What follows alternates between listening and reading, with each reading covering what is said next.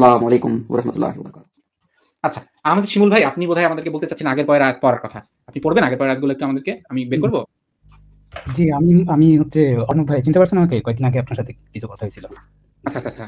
খুব সম্ভবত যুক্ত হ্যাঁ ভাই বলে হ্যাঁ। তো আমি ওইভাবে কার্বি পড়তে পারি না বা কোরআনের আয়াত নিয়ে সেভাবে বিশ্লেষণ করতে পারব না। তবে আমি সূরা তাওবা সম্বন্ধে যতটুকু জানি যে এই আয়াতটা হচ্ছে কিছু ইন্ডিভিজুয়াল মুশরিকদের মানে আরবের আহ, মানে ব্যাপারেই বলা হয়েছে। তো এখন যদি আয়াতটা দেখায় আপনারা বলেন যে না পুরো পৃথিবীর মুশরিকদের কাতল করতে হবে তাহলে এটা মনে হয় যে ফেয়ার হবে না। আচ্ছা। যেমন চার- নম্বর আয়াতটা পড়লে বোঝা যাবে যে তাদের সাথে একটা চুক্তি হয়েছিল চুক্তিটা ভঙ্গ হয়। তো এই আচ্ছা। পুরা সূরাটাই হয়তো বা তাদের নিয়েই কথা হয়েছে। আচ্ছা। আপনি যদি এটা একটু বিশ্লেষণ করতেন ভালোই তো। আচ্ছা আপনি যে কথাটা বললেন এই কথাটা সপক্ষে আপনার কি কোনো ধরেন কোনো ধরনের কোনো দলিল কোনো ধরনের কোনো হাদিস তাফসির সিরাত কোনো কিছু কি আছে আপনার? সপক্ষে যেটা মানে আমরা বুঝতে পারি যে হ্যাঁ, আপনি যে কথা বলেন এটা এখন তো আপনার ব্যক্তিগত কথা না এটা আমরা বুঝতে পারি এরকম কোনো কিছু আছে আপনার কাছে? আচ্ছা আপনি এই- এই সূরারই চার নম্বর আয়াতটা একটু বের করতে পারবেন? হ্যাঁ চার নাম্বার কেন? আমরা শুরু চূড়াটা একদম শুরু থেকেই পড়া শুরু করে দিই তাও হয়? একদম শুরু থেকেই পড়া শুরু করে দিই কোনো সমস্যা নেই। না চার নম্বরটা বের করেন তাহলে এই যে চার নম্বরের মধ্যে বলেছে যারা তোমাদের সঙ্গে চুক্তির ব্যাপারে বিন্দুমাত্র ত্রুটি করেনি তোমরা কাউকে তাদের পর্যন্ত তাদের নির্দিষ্ট সময় পর্যন্ত চুক্তি পূর্ণ করো। অবশ্যই আল্লাহ মুত্তাকিদের ভালোবাসে এই আয়াতটা দেখিয়ে আপনি কি বলতে চাচ্ছেন যে মানে আপনি কি বলতে চাচ্ছিলেন যে ওই নির্দিষ্ট মুষ্টিদের সম্পর্কে বলা হচ্ছে? এরকম কিছু? হ্যাঁ হ্যাঁ পুরো সূরাটাতে নির্দিষ্ট গোষ্ঠীদের সম্বন্ধে বলা হচ্ছে আমি ধরনের কিছু বলতে চাচ্ছি। এটা এটা মানে এটা আপনার ব্যক্তিগত বক্তব্য নাকি? না না কোনো হাদিস বা এরকম কিছু না, আমি হচ্ছে আমি এটা বয়ানটা শুনছি আমি কয়েক জায়গায় কয়েকটা হুজুরের কাছ থেকে শুনছি এই তাফসীরটা কি। আমি কোনো আচ্ছা। দলিল দেখাতে পারব না তো আপনি আপনি নিজে বিশ্লেষণ করেন এখন আমাদের তো মেধা আছে তাই না? তো সেই ক্ষেত্রে আপনাদের তো মেধা আছে তো সেই ক্ষেত্রে থেকে আপনার কিছু না কিছু বের তো হবে আমরা এক কাজ করি তাহলে আমরা এক নম্বর আয়াত থেকে পড়ি। মুষ্টিদের মধ্যে যারা তোমাদের সাথে চুক্তি করেছে তাদের সাথে সম্পর্ক ছেদের ঘোষণা দেওয়া হলো। প্রথম লাইনটা কি ভাই লেখা? এখানে একটা চুক্তি হয়েছিল তারা চুক্তি ভঙ্গ করছে তাদের সাথে সম্পর্ক সেট করা হয়েছে এটা বোঝানো বোঝানো ভঙ্গ করছে এটা কোথায় বলা এখানে? সরি দাঁড়ান মধ্যকার সময় তাদের চুক্তিবদ্ধ ছিল তাদের সাথে। হ্যাঁ একটা চুক্তি ভঙ্গ করছে এটা বলা হয় নাই তবে চুক্তিটা ভঙ্গের অনুমতি দেওয়া হচ্ছে যে একটা চুক্তি ছিল কাকে? কাকে? মুসলমানদের দেওয়া হচ্ছে মুসলমানদের দেওয়া হচ্ছে। হ্যাঁ মানে সম্পর্ক ছেদ করার কথা কারা বলতেছে? মানে চুক্তিটা কারা ভাঙতেছে? চুক্তিটা ভাঙতে বলতেছে হচ্ছে মুসলমানদের চুক্তি ভেঙে ফেলতে বলা- হচ্ছে আর কি। তার মানে চুক্তিটা তো মুশরিকরা ভাঙতেছে না। কাদেরকে ভাঙার কথা কারা কারা ভাঙছে কাদেরকে ভাঙার অনুমতি দেওয়া হচ্ছে? মুসলমানদের ভাঙতে বলা হচ্ছে তবে আমি শিওর আমি শিওর ড্যাম শিওর যে এর পেছনে একটা রিজন আছে। হ্যাঁ আপনি যে ড্যাম শিওরটা দিচ্ছেন এই যে আপনি ধরেন আমি আমি আপনি ধরেন দুইবার বলছেন ড্যাম শিওর আমি তিনবার বললাম। বা ধরেন আমি ছয়বার বললাম damn sure damn sure damn sure damn sure damn sure এটা কোনো পদ্ধতি হয় না তাই না? হলো আমার মনে হয় যে আপনিও জানেন যে এর পিছনে একটা রিজন আছে সেজন্য আমি বললাম। আমার মনে হয় যে আপনার জানার কথা। কিন্তু আমি যে রিজন জানি আর আপনি যে রিজন জানেন সেই দুটো তো এক নাও হতে পারে তাই যদি না আমরা সেটা দলিল দিই যেমন আপনি যদি ওই রিজনটা দেখান আমাদেরকে আমরা কিন্তু মেনে নিব। আচ্ছা আচ্ছা আচ্ছা। যাই হোক রিজনটা ছাড়াই মনে হয় আমরা ক্যারি অন করতে পারব। রিজনটা সারা যদি ক্যারি অন করি তাহলে আমরা দেখতে পারি এখানে সরাসরি বলা প্রথম আয়াতটাতেই বলা যে চুক্তিটা ছিন্ন করার হুকুমটা দিচ্ছে কে? আল্লাহ আর তার রাসূলের পক্ষ হতে। হ্যাঁ পক্ষতে আসতেছে। তাই না ভাই? মুশরিকরা চুক্তি ভঙ্গ করতেছে না আল্লাহ ও তার রাসূলের চুক্তিটা ভঙ্গ করতেছে। আচ্ছা। চুক্তিটাকে শেষ করে দিচ্ছে। এরপরে চার মাস তোমরা ইচ্ছা মতো চলাফেরা করে নাও আর জেনে রেখো যে তোমরা আল্লাহকে নত করতে পারবে না। আল্লাহ লাঞ্ছিত করাবেন। মানে চার মাস সময় দিচ্ছে তাদেরকে তাই না? মানে আপনি আগে পরে রাত করতে চাইলেন আগে পরে রাত পরে পরে কি বোঝা যাচ্ছে সেটা বলতেছি। তারপরে আল্লাহ ও তার রাসুলের পক্ষ থেকে বড় হজের দিন মানুষের কাছে ঘোষণা দেওয়া হলো যে আল্লাহ ও মুশরিকদের সাথে সম্পর্কহীন এবং তার রাসূলও। মানে কারা করতেছে? সম্পর্কটা কারা ত্যাগ করতেছে? আল্লাহ এবং রাসুলের পক্ষ থেকে সম্পর্কটা সেট করা হচ্ছে। চুক্তিটা ফিনিশ করে দেওয়া হচ্ছে চুক্তিটাকে ডিসমিস করে দেওয়া হচ্ছে আল্লাহ তার রাসূলের পক্ষ থেকে আচ্ছা কাজেই এখন যদি তোমরা তবা করো তোমাদেরই ভালো হবে। আর যদি তোমরা মুখ ফেরায় নাও তাহলে জেনে রাখো তোমরা আল্লাহর দুন- দুর্বল করতে পারবে না। ভয়াবহ শাস্তি আছে। হুম। কি বুঝলেন? তখন তারপরের আয়তে আমরা দেখি আবারও কিন্তু মুশরিকদের মধ্যে যারা তোমাদের চুক্তি রক্ষার ব্যাপারে বিন্দুমাত্র ত্রুটি করেনি আর তোমাদের বিরুদ্ধে কাউকে সাহায্য করেনি তাদের সাথে নির্দিষ্ট সময় পর্যন্ত চুক্তিটা পূর্ণ করে নাও। মানে তাদের সাথে চুক্তিটা ছেদ করে না ওই যতক্ষণ চুক্তিটা আছে ততক্ষণ মাইনে নাও। সমস্যা নেই। এরপরে বলতেছে তারপরে নিষিদ্ধ মাস অতিক্রান্ত হয়ে গেলে মুশরিকদের যেখানে পাও তাদেরকে পাকড়াও করো ঘেরাও করো ঘাটিতে ওত পেতে বসে থাকো। কিন্তু তারা যদি তবা করে নামাজ পড়ে প্রতিষ্ঠা করে জাকাত আদায় করে তাহলে তাদেরকে তাদের পথ ছেড়ে দাও। মানে এই নিষিদ্ধ এই মাসটা যে কয় মাস পর্যন্ত চুক্তিটা পালন করতে বলতেছে তাদেরকে এটা যদি অতিক্রান্ত হয়ে যায় এরপরে তাদেরকে তোমরা ধরে যেখানে পাও সেখানে তাই না? মারতে বলতেছে। মুসলিমদের কেউ যদি তোমাদের কাছে আশ্রয় প্রার্থনা করে তবে তাদেরকে আশ্রয় দাও। যাতে তারা সুযোগ পায় মানে এই যে ইসলাম কবুল করার সুযোগ পায় এরকম। আচ্ছা। আচ্ছা তো তো আপনি এই একটা তো আপনি হচ্ছে ওনাকে দেখাইলেন। তো এখানে তো স্পষ্ট আমরা বুঝতে পারছি যে কোন মুশরিকদের কথা বলা হচ্ছে। দাঁড়ান না কোন মুশরিক? কীভাবে বুঝলেন আপনি? কারণ আস্তে আস্তে তো সবগুলোই বলতেছে। আপনি থেমে গেলেন কেন? আমরা পুরোটাই করি তাই না? আমরা পুরোটাই করি চুক্তি করে কি কার্যকর থাকতে পারে? আল্লাহ তার রাসূলের সঙ্গে মুসলিমদের চুক্তি কি করে কার্যকর থাকতে পারে? দেখেন কি বলছে। আচ্ছা। অবশ্য ওই সব লোক ছাড়া, যাদের সঙ্গে তোমাদের মসজিদে হারামের নিকট চুক্তিবদ্ধ হয়েছিলে, তারা যতদিন তোমাদের সঙ্গে চুক্তি ঠিক রাখে, তোমরা তাদের সঙ্গে কৃত চুক্তি দৃঢ় রাখো। কি বলছে? মুশরিকদের চুক্তি কি করে কার্যকর থাকতে পারে? এখানে বলা নেই যে তোমাদেরকে আক্রমণ করছে এই জন্য চুক্তি ভেঙে দিচ্ছি, এরকম কিচ্ছু বলা নেই। বারবার বলা কি? যে মুশরিকরা, শিরক যারা করে, তাদের সাথে তোমাদের কোনো চুক্তি থাকতে পারবে না। তোমরা কোনো চুক্তি রাখবা না। কিসের চুক্তি? কিসের কি? আল্লাহই বলতেছে। এই যে এইভাবে একের পর এক আয়াতের পরে, একের পর এক এই যে আয়াতের পরে, আস্তে আস্তে আস্তে আস্তে আস্তে আস্তে গিয়ে এই যে এরকম করে বলার পরে এই যে তাদের অপরাধ কি আপনি যদি বলতে চান যেমনটা ফারাজ ভাই জিজ্ঞেস করছিল অপরাধ কি? এই যে দিনের বিরুদ্ধে কটুক্তি করা এটাই তাদের অপরাধ। আচ্ছা, কটুক্তি করাই তাদের অপরাধ। কটুক্তির সংজ্ঞা যে ভাই কত মানে বিস্তৃত মানে শুনলে অবাক হয়ে যাবেন। এটা জামার বোতাম পর্যন্ত বিস্তৃত। জামার বোতামটা নিয়ে কটুক্তি করলেও খবর না আমি আপনার সাথে একমত হতে পারলাম না। আচ্ছা বলেন একটু। ভাই? আক্রমণাত্মক জিহাদ তো আহ, কিয়ামত পর্যন্ত বলবৎ থাকবে রাইট? হুম হুম। যতক্ষণ না পুরা পুরা পৃথিবীর সবাই এক কালেমান ছায়া তোলা আসবে ততক্ষণ পর্যন্ত জিহাদটা চলবে না? আক্রমণাত্মক জিহাদটা? একদম একদম। তাহলে যদি আক্রমণাত্মক জিহাদ পুরো কেমন পর্যন্ত চলে? সবাই ওখানে মানে আহ, মানে প্রত্যেকজন মুসলমান হওয়া পর্যন্ত যদি আক্রমণাত্মক জিহাদ চলে তাহলে কাফেরা কটুক্তি করুক বা না করুক মানে কাফেরা কটুক্তি না করলে মানে জিনিসটা কন্ট্রাডিক্টরি না কটুক্তি না করলে তাদের উপর জিহাদ হবে না। আপনি কটুক্তির কথাটা কোথা থেকে অ্যাড করলেন জিনিসটা বললাম না। মানে মানে আমি বললাম যে যদি ওনারা বলতে চায় আর কি যে ওদের অপরাধ কি সেটা বলতে চাচ্ছিলাম যে তাহলে সর্বোচ্চ ওরা এই আয়াতটা ওই আয়াতটা দেখা দেখতে বলতে পারে। কিন্তু আগে পিছে প্রত্যেকটা আয়াতে এটা ক্লিয়ার করা যে জাস্ট তারা যে মুশরিক এইটুকুই এনাফ তাদের বিরুদ্ধে যুদ্ধ করার জন্য। তারা যে মুশরিক এই প্রত্যেকটা দেখেন আয়াতগুলো আমি প্রত্যেকটা আয়াত স্ক্রিনে দেখাইলাম শুরু থেকে শেষ পর্যন্ত। পজ করে করে আপনারা দেখবেন। দেখে দেখে এই যে সর্বশেষে আমি যে কার্টুনটা পছন্দ করি তুমি সেই কার্টুন পছন্দ করো না কেন? সেই এই এইটা এই দোষের মানে আর কি কলা কাটা হবে এই তো? এক্স্যাক্টলি সর্বশেষ এই যে ওহে বিশ্বাসীগণ মুশরিকটা হলো অপবিত্র, মুশরিকদেরকে অপবিত্র ঘোষণা করে দিয়ে, ওদের জন্য মসজিদ হারামে আসাটা হারাম ঘোষণা করে দিয়ে তারপরে এই আয়াতটা আসলো যে যারা আল্লাহর প্রতি ইমান রাখে না, কিয়ামতের দিনের প্রতিও না, হারামকে হারাম মনে করে না, ইসলাম গ্রহণ করে না, তাদের বিরুদ্ধে যুদ্ধ করতে থাকে। আসলে যুদ্ধ না, কাতিল মানে হচ্ছে যুদ্ধ করে খুন করা। কাতিল শব্দ, যেমন নিসা, ইয়া, নিকাহ। নিকাহ শব্দটার অর্থ, নিকাহ শব্দটার অর্থ হচ্ছে যে শুধু বিয়ে করা না, বিয়ে করার পরে সহবাস করার মাধ্যমে বিয়েটাকে হালাল করা। এই কাজটাকে নিকাহ বলে একবারে। পুরো জিনিসটাকে একটা প্যাকেজ এই বিয়ে করে সঙ্গম করা সেইটাকে আসলে নিকাহ বলে আরবি নিকাহ শব্দটার যেমন অর্থ। ঠিক সেম ভাবে এখানে কাতিল মানে হচ্ছে কাতিল শব্দটার অর্থ আসলে যুদ্ধ করা না বা খুন করাও না। যুদ্ধ করার মাধ্যমে খুন করা। নিকাহ শব্দটার অনেক মানে নিকাহ বা কাতিল শব্দটার তো অনেক অর্থ আছে কিন্তু ইসলামী পরিভাষা এটার অর্থটা কি সেটা আর কি আমি বললাম। তো এই আয়াতগুলো দেখে ভাই ক্লিয়ারলি বোঝা যাচ্ছে যে কি এখন এটা এটা যদি বোঝা নাও যায় ধরে নিলাম এই আয়াতগুলো দেখে বোঝা যাচ্ছে না আমরা তখন কি করব? না ভাই। না ধরেন বোঝা যাচ্ছে না তখন আমরা কি করব ভাই? তাফসিরের সাহায্য নেব। তাফসিরের সাহায্য নিয়ে আমরা দেখব যে তাফসিরে কি লেখা আছে। আচ্ছা তাফসিরে আমরা- আমার একটা কথা ছিল। হ্যাঁ হ্যাঁ বলেন। তো আপনি তো আয়াতগুলো পড়লেন তো এই প্রসঙ্গটা তো আপনি বুঝতে পারতেছেন। তো আপনি একটু নিজেই বিবেচনা করেন না তাফসির না পড়ে যে না এখানে কাদের সম্পর্কে কথা বলা হচ্ছে কোন চুক্তির বিষয়ে কথা বলা হচ্ছে। কীভাবে তাহলে- বিবেচনা করতে বুঝলাম না তো আমি বুঝতে পারছি ওনার কথাটা। ফরাজ ভাই ওনার যুক্তিতে বলা হচ্ছে যেমন আমি যখন আপনার কথা শুনতে আপনার কথা শুনছি না এখন আমার তো ভাই আপনাকে বলতেছে যে তার তাকে মেরে ফেলো তার সাথে তাকে শাস্তি দাও সে তোমার কথা শুনে না। তো পরবর্তীতে আপনি কি বলবেন বলবেন যে যেই আমার কথা শুনবে না তাকে আমি মেরে ফেলব? যখন ভাই বলতেছে আপনি ক্লিয়ারলি বুঝতে পারতেছেন যে কথাটা আমার বিষয় হচ্ছে তাই না? কারণ আমি এখানে প্রেজেন্ট থার্ড পার্সন এখানে আমি। তো পরবর্তীতে সেম কাজ পরবর্তীতে যেই করুক না কেন তাকে আপনি মেরে ফেলবেন। আপনি কি ভাই কি বলল? আমি কিন্তু হ্যাঁ ওনার বললাম পয়েন্টটা বুঝতে পারছি আমি পয়েন্টটা নিয়ে বলতে চাচ্ছিলাম ওনার বলা শেষ হোক আগে। হ্যাঁ বলেন ভাই। জি বলেন আপনি বলেন। আচ্ছা আপনার পয়েন্টটা আমি যদি ঠিকভাবে বুঝে থাকি আপনি আমাকে ভুল ধরিয়ে দিন সেটা হচ্ছে আপনার পয়েন্টটা হচ্ছে যদি একটা জিনিস নির্দিষ্ট একটা ব্যক্তির ব্যাপারে বা নির্দিষ্ট একটা গোষ্ঠীর ব্যাপারে বলা হয়ে থাকে সেটা কেন সামগ্রিকভাবে আমরা প্রয়োগ করার চেষ্টা করতেছি? ঠিক। exactly. আমি আপনার সাথে একমত, একদম একমত, কখনোই এই কাজটা করা ঠিক না। এটাকে বলা হয় জেনারেলাইজেশন হ্যাশটি জেনারেলাইজেশন বলে এটাকে। এই জেনারেলাইজেশনটা আমরা করতেছি না। আমরা কি করতেছি? আমরা খুঁজে দেখতেছি যে আসলে কি বলা হয়েছে। ধরেন, আপনার যুক্তিতেই আমি আপনাকে বলি, আপনি যেমন আমাকে একটা উদাহরণ দিলেন যে শুধু মাতুব্বরের ক্ষেত্রে কেন তারা অন্য ক্ষেত্রে মাতুব মানে অন্যদের ক্ষেত্রে কেন প্রয়োগ করেন সেভাবে। কোরআনটা, কোরআনটাতে বলা হচ্ছে, হে মুমিনরা, তোমরা কি করো, নামাজ কায়েম করো, তোমরা রোজা রাখো। ভাই, সারা পৃথিবীর কোথাও তখন মুমিনরা ছিল না, শুধু ওই মক্কাতেই ছিল মুমিনরা। বাইরে কোথাও ছিলই না মুমিনরা। মুমিনদের অস্তিত্ব ছিল ইসলাম কাকে বলে এটাই জানতো না। ইউরোপে জানতো না আমেরিকাতে জানতো না অস্ট্রেলিয়াতে জানতো না আফ্রিকাতে জানতো না। আপনার যুক্তি অনুসারে কি ভাই কোরআনটা শুধু এবং এমনকি এমন আয়াতও কিন্তু আছে আবার কোরআনের মধ্যে। মজার বিষয় হচ্ছে জায়গায় আমি কোরআন নাজিল করেছি মক্কাও তার আশেপাশের লোকদের সতর্ক করার জন্য আরবি ভাষাতে। এই একটা আয়াত কিন্তু আছে। আমরা কি এগুলো দেখায় বলতে পারি? কোরআনটা শুধুমাত্র মক্কার মুসলমানদের জন্য প্রযোজ্য? নামাজটা নামাজটা শুধু মক্কার মুসলমানদের জন্য না সকল মুসলমানদের জন্য ভাই? সকল মুসলমানদের জন্য কেন? একটা ওয়ার্ড কারণটা বলতেন। কারণ সেখানে জেনারেলি বলা হয়েছে এটা তো জেনারেলি বলা হয়েছে সবাইকে বলা হয়েছে কিন্তু ওখানে একটা সিচুয়েশন না না না না না না এখানে জেনারেলি কোথায় বলা হয়েছে যে পৃথিবীর সকল মুসলিমদের জন্য আমি ইয়া নামাজ ফরজ করলাম? মাতো ভাই আমি একটা কথা বলতে চাই। হ্যাঁ, হ্যাঁ। আপনাদের কি সামহাও এই আলোচনাটা হচ্ছে যে সুরাত আবার পাঁচ নম্বর আয়াতটা একটা যুদ্ধ পরিস্থিতিতে নাজির হয়েছে? এটা কি শিমুল ভাই বলতে চাচ্ছেন? না হ্যাঁ, বক্তব্যটা হচ্ছে যে এটা নির্দিষ্ট একটা অঞ্চলে নির্দিষ্ট না না ওনার কাছ থেকে শুনি ওনার কাছ আচ্ছা, থেকে শুনি মাতো ভাই। হ্যাঁ শিমুলে বলেন। আয়াতটা যখন নাজিল হয়েছে তখন হচ্ছে তাদের ভিতরে যুদ্ধ চলছিল যুদ্ধ বিরতি চলছিল চুক্তি এটা এটা আপনি কে বলেছে? যে তাদের মধ্যে যুদ্ধ চলছিল বা যুদ্ধ বিরতি চলছিল কে বলেছে? একটা চুক্তি এখানে হ্যাঁ, এই আয়াতে তো একটা চুক্তির কথা বলা হয়েছে না এই আয়াতের কি চুক্তিটা সেটা কি আপনি জানেন? আর চুক্তিটা হয়েছিল হজে চুক্তি হয়েছিল না এই- এই- এই মানে চুক্তিটা চুক্তিটাতে পরে আসেন সেই সময় তাদের মধ্যে যুদ্ধ চলছিল বা যুদ্ধ বিরতি যুদ্ধের মধ্যবর্তী সময় চলছিল এই কথাটা আপনি কোথায় পাইছেন?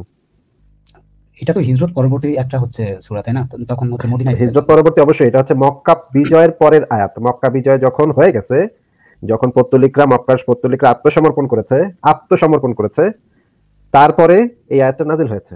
তখন কোনো ধরনের যুদ্ধ চলছিল না কারও সাথে কারও কোনো শত্রুতা নাই কারও সাথে কেউ মোহাম্মদের মোহাম্মদের মাথায় বাঁশ দিয়ে বাড়ি মারে নাই কেউ মোহাম্মদের ছাগল চুরি করে নাই কিচ্ছু না একদম কিচ্ছু না কিচ্ছু ঘটে নাই সে সময়। আমি আপনাকে সেটা প্রমাণ দেখাচ্ছি। আপনি কি এটা জানেন কিনা আগে বলেন। না আপনি যেটা বলতেছেন আমি প্রথম শুনতেছি। আচ্ছা প্রথম শুনতেছেন এই যে সুরাত আবার এই আয়াতগুলোর আহ, তথ্যসূত্রটা আমি এখন দেখাচ্ছি। না তো ভাই এই যে এটা খুবই একটা ভাইটাল পয়েন্ট এই জিনিসটা তো দেখাতে হবে এই জিনিসটা আমি একটু হ্যাঁ। দেখাইতে হবে। অবশ্যই অবশ্যই। এটা হচ্ছে যে স্ক্রিনে আমি যেটা দেখাচ্ছি সেটা হচ্ছে সিরাতুল মুস্তাফা গ্রন্থ থেকে আগে দেখি। সিরাতুল মুস্তাফা থেকে আমরা আগে শুরুতে দেখব তারপর তাফসিরে ইবনে কাসির দেখব। সিরাতুল মুস্তাফাতে যে জিনিসটা বলা হচ্ছে আহ, হযরত সিদ্দিকী বকর মানে আবু বকর সিদ্দিকীকে হজের আমির নির্বাচন নবম হিজরি জিলকাত মাসে নবী আবু বকরকে হজের আমির নির্বাচন করে মক্কা মুকাররমা প্রেরণ করেন। মদিনা থেকে তিনশো লোক এবং কুরবানির জন্য বৃষ্টি তার সাথে প্রদান করেন, যাতে তিনি শরিয়ার বিধান অনুযায়ী লোকজনের হজ আদায়ের ব্যবস্থা করতে পারেন এবং চুক্তি ভঙ্গ করার ব্যাপারে সূরা তাওবার যে চল্লিশ আয়াত নাজিল হয়েছে, তা ঘোষণা করবেন। এই যে দেখেন এখানে আবু বকরকে হজের আমির মানে হজ, হজটা কীরকম হবে, সেই জিনিসটার আমির নির্বাচন করে মক্কায় প্রেরণ করেন। সেই সময়ে মক্কার অধিবাসীরা মুসলমানদের অধীনস্থ মানে মুসলমানরা তখন বিজয় করে ফেলেছে, অধীনস্থ তারা। তিনি শরিয়া বিধান অনুযায়ী লোকজনের হজ আদায়ের ব্যবস্থা করতে পারেন। মানে আবু বকরই তখন সিদ্ধান্ত নেবেন যে কীভাবে মানুষ হজ আদায় করতে পারবে। সকল মানুষের, মক্কার সকল মানুষ কীভাবে হজ আদায় করতে পারবে, সেটা সিদ্ধান্ত নেবে আবু বকর। এবং চুক্তি ভঙ্গের ব্যাপারে সুরাত আবার যে চল্লিশ আয়াত নাজিল হয়েছে, তা ঘোষণা করবেন। আয়াত সমূহে এই বিষয়ে বর্ণনা ছিল যে, এবছরের পর মুশরিকরা মসজিদে হারামে যেতে পারবে না এবং উলঙ্গ হয়ে বায়তুল্লাহ তাওয়াফ করতে পারবে না। এই যে সুরাত আওয়াবার যে চল্লিশ আয়াত, সেটা নাজিল হয়েছিল এই কারণে যে মুশরিকরা হজ করতো, মুশরিকরা বহু আগে থেকে, মোহাম্মদের জন্মের বহু আগে থেকে সেখানে হজ করতো এবং কিছু কিছু মুশরিক উলঙ্গ অবস্থায় বায়তুল তাওয়াফ করতো।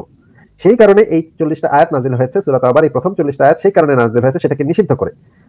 কাফেরদের সাথে তখন মোহাম্মদের কোনো যুদ্ধ চলছিল না, শুধুমাত্র কারণ ছিল এটাই যে তারা উলঙ্গ অবস্থায় তাওয়াফ করতো। তখন এই আয়াত নাজিল হয়েছে, যার সাথে নবী চুক্তি করেছেন তা ওই নির্ধারিত সময়ের মধ্যে পূর্ণ করা হবে, যাদের সাথে চুক্তি হয়নি তাদের কুরবানির দিন থেকে চার মাসের সুযোগ দেওয়া হলো। কুরবানির দিন থেকে চার মাস সুযোগ দেওয়া হলো, কি জন্য? ভাই, কি জন্য সুযোগ দেওয়া হলো বলেন তো? কি সুযোগটা দেওয়া হলো? তাওবা করার জন্য ফিরত আসার জন্য। তবা করার জন্য না সেটা হচ্ছে ইসলাম কবুল করার জন্য অথবা তাদেরকে যেখানে পাওয়া যাবে হত্যা করার জন্য। এই যে আচ্ছা। এই চার মাস সুযোগ সময় দেওয়া হলো ইসলাম কবুল করতে হবে অথবা যেখানে পাওয়া যাবে সেখানে তাদেরকে হত্যা করা হবে। আচ্ছা এটার পরের পরের অংশটা আমরা পড়ি। তদনুসারে কোরবানির দিন এই ঘোষণা দেওয়া হয় যে বেহেশতে কোনো কাফির প্রবেশ করতে পারবে না, আগামী বছর থেকে কোনো মুশরিক হজ আদায় করতে পারবে না এবং কেউ উলঙ্গ হয়ে বাইতুল তাওয়াফ করতে পারবে না। রাসূলুল্লাহ সাল্লাল্লাহু আলাইহি সাথে যার কোনো চুক্তি রয়েছে তা নির্ধারিত সময়ের মধ্যে পূর্ণ করতে হবে। যার সাথে কোনো চুক্তি নেই অথবা অনির্ধারিত সময়ের জন্য চুক্তি রয়েছে, তার জন্য চারই মাসে, চার মাসের নিরাপত্তা রয়েছে। ওই, যদি ওই সময় ইসলাম গ্রহণ না করে, তাহলে ওই সময়ের পর যেখানেই পাওয়া যাবে তাকে হত্যা করা হবে। মানে এটা হচ্ছে এটা হচ্ছে একটা থ্রেট মূলক আয়াত মানে হুমকি মূলক আয়াত, যে তোমাদেরকে আমি চার মাসের সময় দিলাম, এর মধ্যে মানে মানে ইসলাম কবুল কর, না করতে না করলে তোদের যেখানে পাবো সেখানে মেরে ফেলব। এইখানে কোন ধরনের তারা ছিল সেখানে সংখ্যালঘু। যে, যেই কাফেররা ছিল সেখানে সংখ্যালঘু এবং অধীনস্থ, তাদের সাথে কোনো ধরনের যুদ্ধ চল তাদের কোনো সাহসই ছিল না যুদ্ধ করার। তাদের কোনো শক্তি সামর্থ্য ছিল না যুদ্ধ করার, তাদের কোনো সাহসও ছিল না যুদ্ধ করার। তারা মুহাম্মদ কি ডিসিশন নেয় সেই জন্য তারা ভয় ছিল, ভীত ছিল। এই সময় হজরত আলীকে জুল হুলাইফা পৌঁছে হজরত আবু বকর সিদ্দিকের সাথে মিলিত হয়ে বললেন, রাসূলুল্লাহ সাল্লাল্লাহু আলাইহি সাল্লাম আমাকে এই আয়াতসমূহ ঘোষণা দেওয়ার জন্য প্রেরণ করেছেন। আচ্ছা এই জিনিসটা আরও ভালোভাবে আমরা পড়ি। সূরা ইবনে কাসিরের তাফসীর থেকে। এখানে দেখেন এটা হচ্ছে ইবনে কাসিরের তাফসীর থেকে দেখাচ্ছি। সূরা তাওবার অবতারণের সময় যে- সকল সুরা নবী করিম সাল্লাহ সাল্লামের জীবনের শেষ দিকে নাজিল হয় সুরা তবা ওইগুলোর অন্যতম। নিচে আমরা যাই, নিচে আমরা দেখি যেখানে কি বলা হচ্ছে। এই সুরের প্রথমাংশ নাজিল হয় প্রথমাংশ খেয়াল করে পড়েন, এই সুরের প্রথমাংশ মানে হচ্ছে এই যে প্রথম আয়াতগুলা হ্যাঁ? নাজিল হয় নবী করিম সাল্লাহ সাল্লামের তাবুক যুদ্ধ হইতে ফিরিয়ে আসিবার পরে নবী আলাইহি সাল্লাম সেই বছর হজ করিতে মনস্থ করিয়াছিলেন, কিন্তু মুশরিকগণ প্রথা অনুসারে সেই বছর হজ করিতে আসিবে এবং তাহারা উলঙ্গ অবস্থায় কাবা তাওয়াফ করিবে। এই বিষয়টি স্মরণ আসিবার পর উক্ত নির্লজ্জতাপূর্ণ দৃশ্য এড়াইবার উদ্দেশ্যে তিনি পরিকল্পনা পরিবর্তন করিয়া আবু বকর সিদ্দিকের নেতৃত্বে একদল সাহাবী হজে পাঠাইলেন। আবু বকর সিদ্দিকের উপর দায়িত্ব দিলেন তিনি লোকদিগকে হজের কার্যাবলী শিক্ষা দিবেন এবং মুশরিকগণকে জানাইয়া দিবেন যে তাহারা আগামী বছর হইতে আর হজ করিতে পারিবে না। নবী করিম আলাইহি সাল্লাম আবু বকর সিদ্দিকের উপরে আরও দায়িত্ব দিলেন। তিনি লোকেদের মধ্যে মুশরিকদের বিষয়ে আল্লাহ তার রাসূলের দায়িত্ব মুক্তির কথা ঘোষণা করিবেন। আবু বকর সিদ্দিকী এর রওনা হইয়া যাওয়ার পরে নবী করিম আলাইহি সাল্লাম আলীকে তাহার পক্ষ হইতে ঘোষণাকারী রূপে পাঠাইলেন। আলীকে পাঠাইবার কারণ এই ছিল যে নবী আলাইহি সাল্লামের পিতৃ সম্পর্কের নিকটাত্মীয়দেরকে নিজের পক্ষ হইতে প্রেরণ করিবার জন্য আদিষ্ট হইয়াছিলেন ব্লা ব্লা নিচে দেখেন, এখান থেকে দায়িত্ব মুক্তির ঘোষণা। ইহা হইতেছে আল্লাহ ও রাসূলের পক্ষ হইতে চুক্তিবদ্ধ মুশরিকদের প্রতি দায়িত্ব মুক্তির ঘোষণা। মানে এরপরে তোদেরকে মাইরা ফেললে আমাদের আর কোনো দায় দায়িত্ব নাই। তোদেরকে আমরা মাইরা ফেলব, আমাদের আর কোনো দায় দায়িত্ব নাই। এখানে পরিষ্কারভাবে বর্ণনা করা আছে, সেইখানে সেই সময় তাদের সাথে কোনো ধরনের যুদ্ধ চলতেছিল না। এমনকি মুশরিকদের যুদ্ধ করার মতো কোনো পরিস্থিতিও তখন ছিল না কারণ মুশরিকরা তখন তখন মুসলমানরা সেখানে হচ্ছে কি বিজয়ী সেনা মুসলিম মুশরিকরা অলরেডি আত্মসমর্পণ করে ফেলছে। আত্মসমর্পণ করার পরেও তখন তাদেরকে বলা হয়েছে এবং নবী তখন ঘোষণা করে দিছে আরেকটা ঘোষণা দেখাচ্ছে সহি হাদিসের ঘোষণা ঘোষণা দিয়ে দিছে নবী যে কোনো আহ, ইহুদি নাসারা কোন ইহুদি নাসারা আর ইসে থাকতে পারবে না। মানে কি বলে এই মক্কা এই যে মক্কা উপদ্বীপে কোনো ইহুদি নাসারা আর থাকতে পারবে না। এই ঘোষণা মোহাম্মদ অলরেডি দিয়ে ফেলছে তখন। যে আমি আপনাকে হাদিসগুলো দেখাচ্ছি। আহ, ভাই আপনার কাছে কি এই হাদিসগুলো আছে? যে যে মক্কাতে যে আর কেউ থাকতে পারবে না? মক্কা আশেপাশে। আচ্ছা আমি হ্যাঁ হাদিসটা বের করে দেখাচ্ছি। মক্কা এবং মক্কা এবং আশপাশের অঞ্চলে অন্য কোনো ধর্মের অনুসারী থাকতে পারবে না। শুধুমাত্র মুসলমান ছাড়া মোহাম্মদ সবাইকে বিতাড়িত করার নির্দেশ দিয়ে ফেলছে। ঠিক আছে? এবং এইটার মানে ধারাবাহিক ধারাবাহিকতা হিসেবে এই সূরাটা নাজিল হয়েছে যে এই অঞ্চলে আর কাউকে আমরা থাকতে দিব না। হয় মুসলমান হবি অথবা মাইরা ফেলব। না হলে তোরা পালায় যায় চার মাস সময় দিলাম তোরা পালায় যায় আমি আপনাকে এই যে এই হাদিসটা? এই হাদিসটা না এই যে আচ্ছা আমি বের করতেছি। এটা হচ্ছে এই যে মক্কা এবং এই যে আমি বের করে ফেলছি দেখাচ্ছি। এটা ঠিক ইমিডিয়েট তিনটা হাদিস আগে মানে তিন হাজার নাম্বার হাদিসটাতেও সেই জিনিসটা আছে অবশ্য। হ্যাঁ ওইটা তো হচ্ছে জোরপূর্বক ধর্ম গ্রহণে বাধ্য করতো সেটা তো আছি। মানুষকে যে জোরপূর্বক ধর্ম গ্রহণ ধর্ম গ্রহণ করতে বাধ্য করতো এটা তো আছে। এই যে দেখেন শিমুল ভাই দেখেন এটা হচ্ছে সহি মুসলিম হাদিস একাডেমি হাদিস নাম্বার হচ্ছে চুয়াল্লিশশো ছিয়াশি। এখানে বলা হচ্ছে হজরত ওমরের ওমর আমার কাছে ওমর ইবনু খাত্তা বর্ণনা করেন যে তিনি রাসুল্লাহ সাল্লাহ সাল্লামকে বলতে শুনেছেন যে নিশ্চয়ই আমি ইয়াহুদি খ্রিস্টান সম্প্রদায়কে আরব উপদ্বীপ থেকে বের করে দিব। তারপর মুসলিম ব্যতীত অন্য কাউকে এখানে থাকতে দিব না। ভাই আপনি পড়তে পারছেন এই হাদিসটা? হ্যাঁ দেখছি মানে হচ্ছে নবী মোহাম্মদের পরিকল্পনা ছিল এটা যে সে ইহুদি খ্রিস্টান পত্তলিকদের কথা বলা আছে আমি আরেক- এই হাদিসটারই আরও ইয়ে আছে। ও আচ্ছা এখানে তো পরে পরে বলেই দেওয়া হলো যে তারপরে মুসলিম ব্যতীত অন্য কাউকে থাকতে দিব না। এই লাইনটা দেখতে পাচ্ছেন ভাই? আচ্ছা এই হাদিসটা আরও আছে হচ্ছে গিয়ে সুনান তিরমিজি শরীফে আছে ষোলোশো সাত নম্বর হাদিসে তারপরে সহি মুসলিমের চুয়াল্লিশশো বিয়াল্লিশ নম্বর আছে বিয়াল্লিশ নম্বরে আছে আসনুন আবু দাউদ শরীফে আছে তিন হাজার তিন নম্বর। এটা এটা অবশ্য ভিন্ন এটা এটাই আনা। এখানে হচ্ছে কি জোরপূর্বক বাধ্য করতো মোহাম্মদ যে ধর্ম গ্রহণ করতে বাধ্য করতো। এই হাদিসটা পড়তে পারেন এটাও খুব ইম্পর্টেন্ট হাদিস। আহ, হ্যাঁ মাতু ভাই কি কিছু দেখাচ্ছিলেন? হ্যাঁ আমি ওই যে এর হাদিসটা দেখাতে চাচ্ছিলাম যে আপনি যে উচ্ছেদ করার কথা বললেন না এটা একদম শুরুটা দেখাতে চাচ্ছিলাম। হ্যাঁ হ্যাঁ দেখান যে এই চ্যাপ্টারটার নামই হচ্ছে সুনান আবু দাউদের, এই এগুলো সহি হাদিস। এই চ্যাপ্টারটার নামই হচ্ছে মদিনা থেকে ইয়াহুদিদের কীভাবে উচ্ছেদ করা হয়েছে। মানে শুরুটা কেমনে করল নবী মোহাম্মদ, দিলেন নবী মুস্তফা, রাস্তা দিয়ে হাইটা গিয়া কীভাবে সে শুরুটা করল, সেটা এই হাদিসটা থেকে যে তিন হাজার তিন নম্বর যে হাদিসটা আছে দেখাল একটু আগে, সেটা ঠিক ইমিডিয়েট আগের হাদিসগুলো, সেখানে একদম ক্লিয়ারলি বলা শুরুটা কীভাবে, একদম শুরুটা। মানে কীভাবে এই উচ্ছেদের কর্মকাণ্ডগুলো নবী শুরু করল। কি করল? বলল যে, আস্তে আস্তে দেখি নিচের দিকে কুরাইশদের উত্তেজিত করতে উস্কানি দিত নবীর বিরুদ্ধে। এরকম এগুলো কথাবার্তা আছে। কি উস্কানি দিত কি বলতো সেটাও এই নিচেই উত্তরে পাবো আমরা। একটু পরে পাবো। হাদিসটা পড়তে পড়তে নিজেই পাবো নিচেই পাবো। নবী সাল ইসলাম এবং তার পরিবার যখন হিজরত করে মদিনায় আসেন তখন সেখানে সব ধরনের লোকেরা বসবাস করতো। সব ধরনের লোকেরা। তাদের মধ্যে কিছু ছিল মুসলিম কিছু মূর্তি পূজারী মুসলিম এবং কিছু ইয়াহুদি সম্প্রদায়ভুক্ত ইয়াহুদিরা নবী সাল ইসলামের সাবিদের কষ্ট দিত। এই যে কীভাবে কষ্ট দিত কীভাবে ইয়ে করতো সেটা এই যে পরে দেখেন। বোঝা যাবে। মহান আল্লাহ মাত্র এক সেকেন্ড এক সেকেন্ড। ইয়াহুদিরা এখানে কিন্তু সামগ্রিকভাবে ইয়াহুদিদেরকে বোঝানো হচ্ছে। হয়তো কিছু ইহুদি মোহাম্মদকে কষ্ট দিয়েছিল, কিন্তু তাই বলে কিন্তু সে ঢালাও ভাবে ইয়াহুদিদের কথা বলতে পারে না এইভাবে। যেমন, কিছু মুসলমান যদি জঙ্গিবাদী কাজ করে, তাহলে কিন্তু আমরা ঢালাও ভাবে যেমন বলতে পারি না যে মুসলমানরা হচ্ছে জঙ্গিবাদী, এটা যেমন বলতে পারি না, ঠিক একইভাবে কয়েকজন ইহুদি যদি ইনফ্যাক্ট নবী যখন মদিনায় পৌঁছান, তখন ইয়াহুদিরাই তাকে আশ্রয় দিয়েছিল ভাই। তাকে যে খাবার দিয়েছিল, তাকে আশ্রয় দিয়েছিল, এই ইয়াহুদিরাই দিয়েছিল। কিন্তু এখানে দেখেন, ইয়াহুদিদের ঢালাও ভাবে বলা হচ্ছে, ইয়াহুদিরা নবী সাল্লাহ সাল্লাম ও তার সাহাবিদের কষ্ট দিত। এটা অত্যন্ত বিশ্রী এক বাজে একটা কথা। এক্স্যাক্টলি এক্স্যাক্টলি মানে জেনারেলাইজ করা এটা একটু আগে আমরা ওই সিং ভাইস একটু আগে ওইটা নিয়েই কথা হচ্ছিল, যে জেনারেলাইজ করাটা কোনোভাবেই এটা যৌক্তিক না, আমি তার সাথে একমত হয়েছিলাম। একজনের অপরাধের জন্য বা একটা দলের অপরাধের জন্য অপরাধের জন্য সবাইকে বলাটা ঠিক না। এখানে আমরা দেখতে পাচ্ছি, সবাইকেই বলা হচ্ছে এবং বলা হচ্ছে, এবং তারা কীভাবে কষ্ট দিত বা কীভাবে তারা উস্কানি দিত সেটা এখন দেখব আমরা। কীভাবে কষ্ট দিত, কীভাবে উস্কানি দিত? বলছে সেটা আল্লাহর আয়াতের মধ্যেই লেখা, তোমরা আহলে কিতাব ও মুশরিকদের কাছ থেকে বহু কষ্টদায়ক কথা শুনতে পাবে। এই যে কষ্টদায়ক কথা শুনতে পাবে। কথা দিয়ে তারা কষ্ট দিত। ওই যে কোরআনের আয়াতটার মধ্যে আমরা পড়লাম কটুক্তি করতো এই কটুক্তি দিয়ে তারা আসলে কষ্ট দিত। মানে তারা এমন না ঢিল ছুটতো এমন না তরবারি দিয়ে এসে এই কোপা আলামু মেরা আলামু না এইসব করতো না। কটুক্তি করতো। কি কটুক্তি? ইসলাম কবুল করতো না বলতো তোর নবী তো ভণ্ড ভাই তাহলে আমার একটা প্রশ্ন হচ্ছে নবী মোহাম্মদ কি অন্য ধর্মকে নিয়ে কটূক্তি করতো নাকি করতো না? এই জিনিসটা যদি আপনি একটু আমাদেরকে বলতেন। নবী মোহাম্মদ কটুক্তি করতো কিনা এটা আমরা পাই হচ্ছে ইয়াতে। আহ, নবী মোহাম্মদের যে বিভিন্ন ধরনের যখন সে প্রথম যখন সে আচ্ছা এটা আমরা ওই শিমুল ভাইয়ের কাছে শুনি না। শিমুল ভাই আচ্ছা। যখন প্রথম নবী মোহাম্মদ ইসলামকে প্রচার করা শুরু করল যখন পত্তলিকের বিরোধিতা করা শুরু করল ধর্মের আচ্ছা তখন কীভাবে বিরোধিতা করেছিল আপনার কি মনে আছে? আচ্ছা আমি হচ্ছে ভাইয়া কয়টা আয়াত দেখাল হচ্ছে মহিউদ্দিন ভাইয়া তো ওই আয়াতের মানে ওইটা একটু ক্লিয়ার করা দরকার ছিল আমার। তারপরে যদি এটা হ্যাঁ ভাই এই যে স্টেপ বাই স্টেপ আমরা যাই স্টেপ বাই স্টেপ গেলে আমাদের মানে আলোচনাটা ইয়া হবে।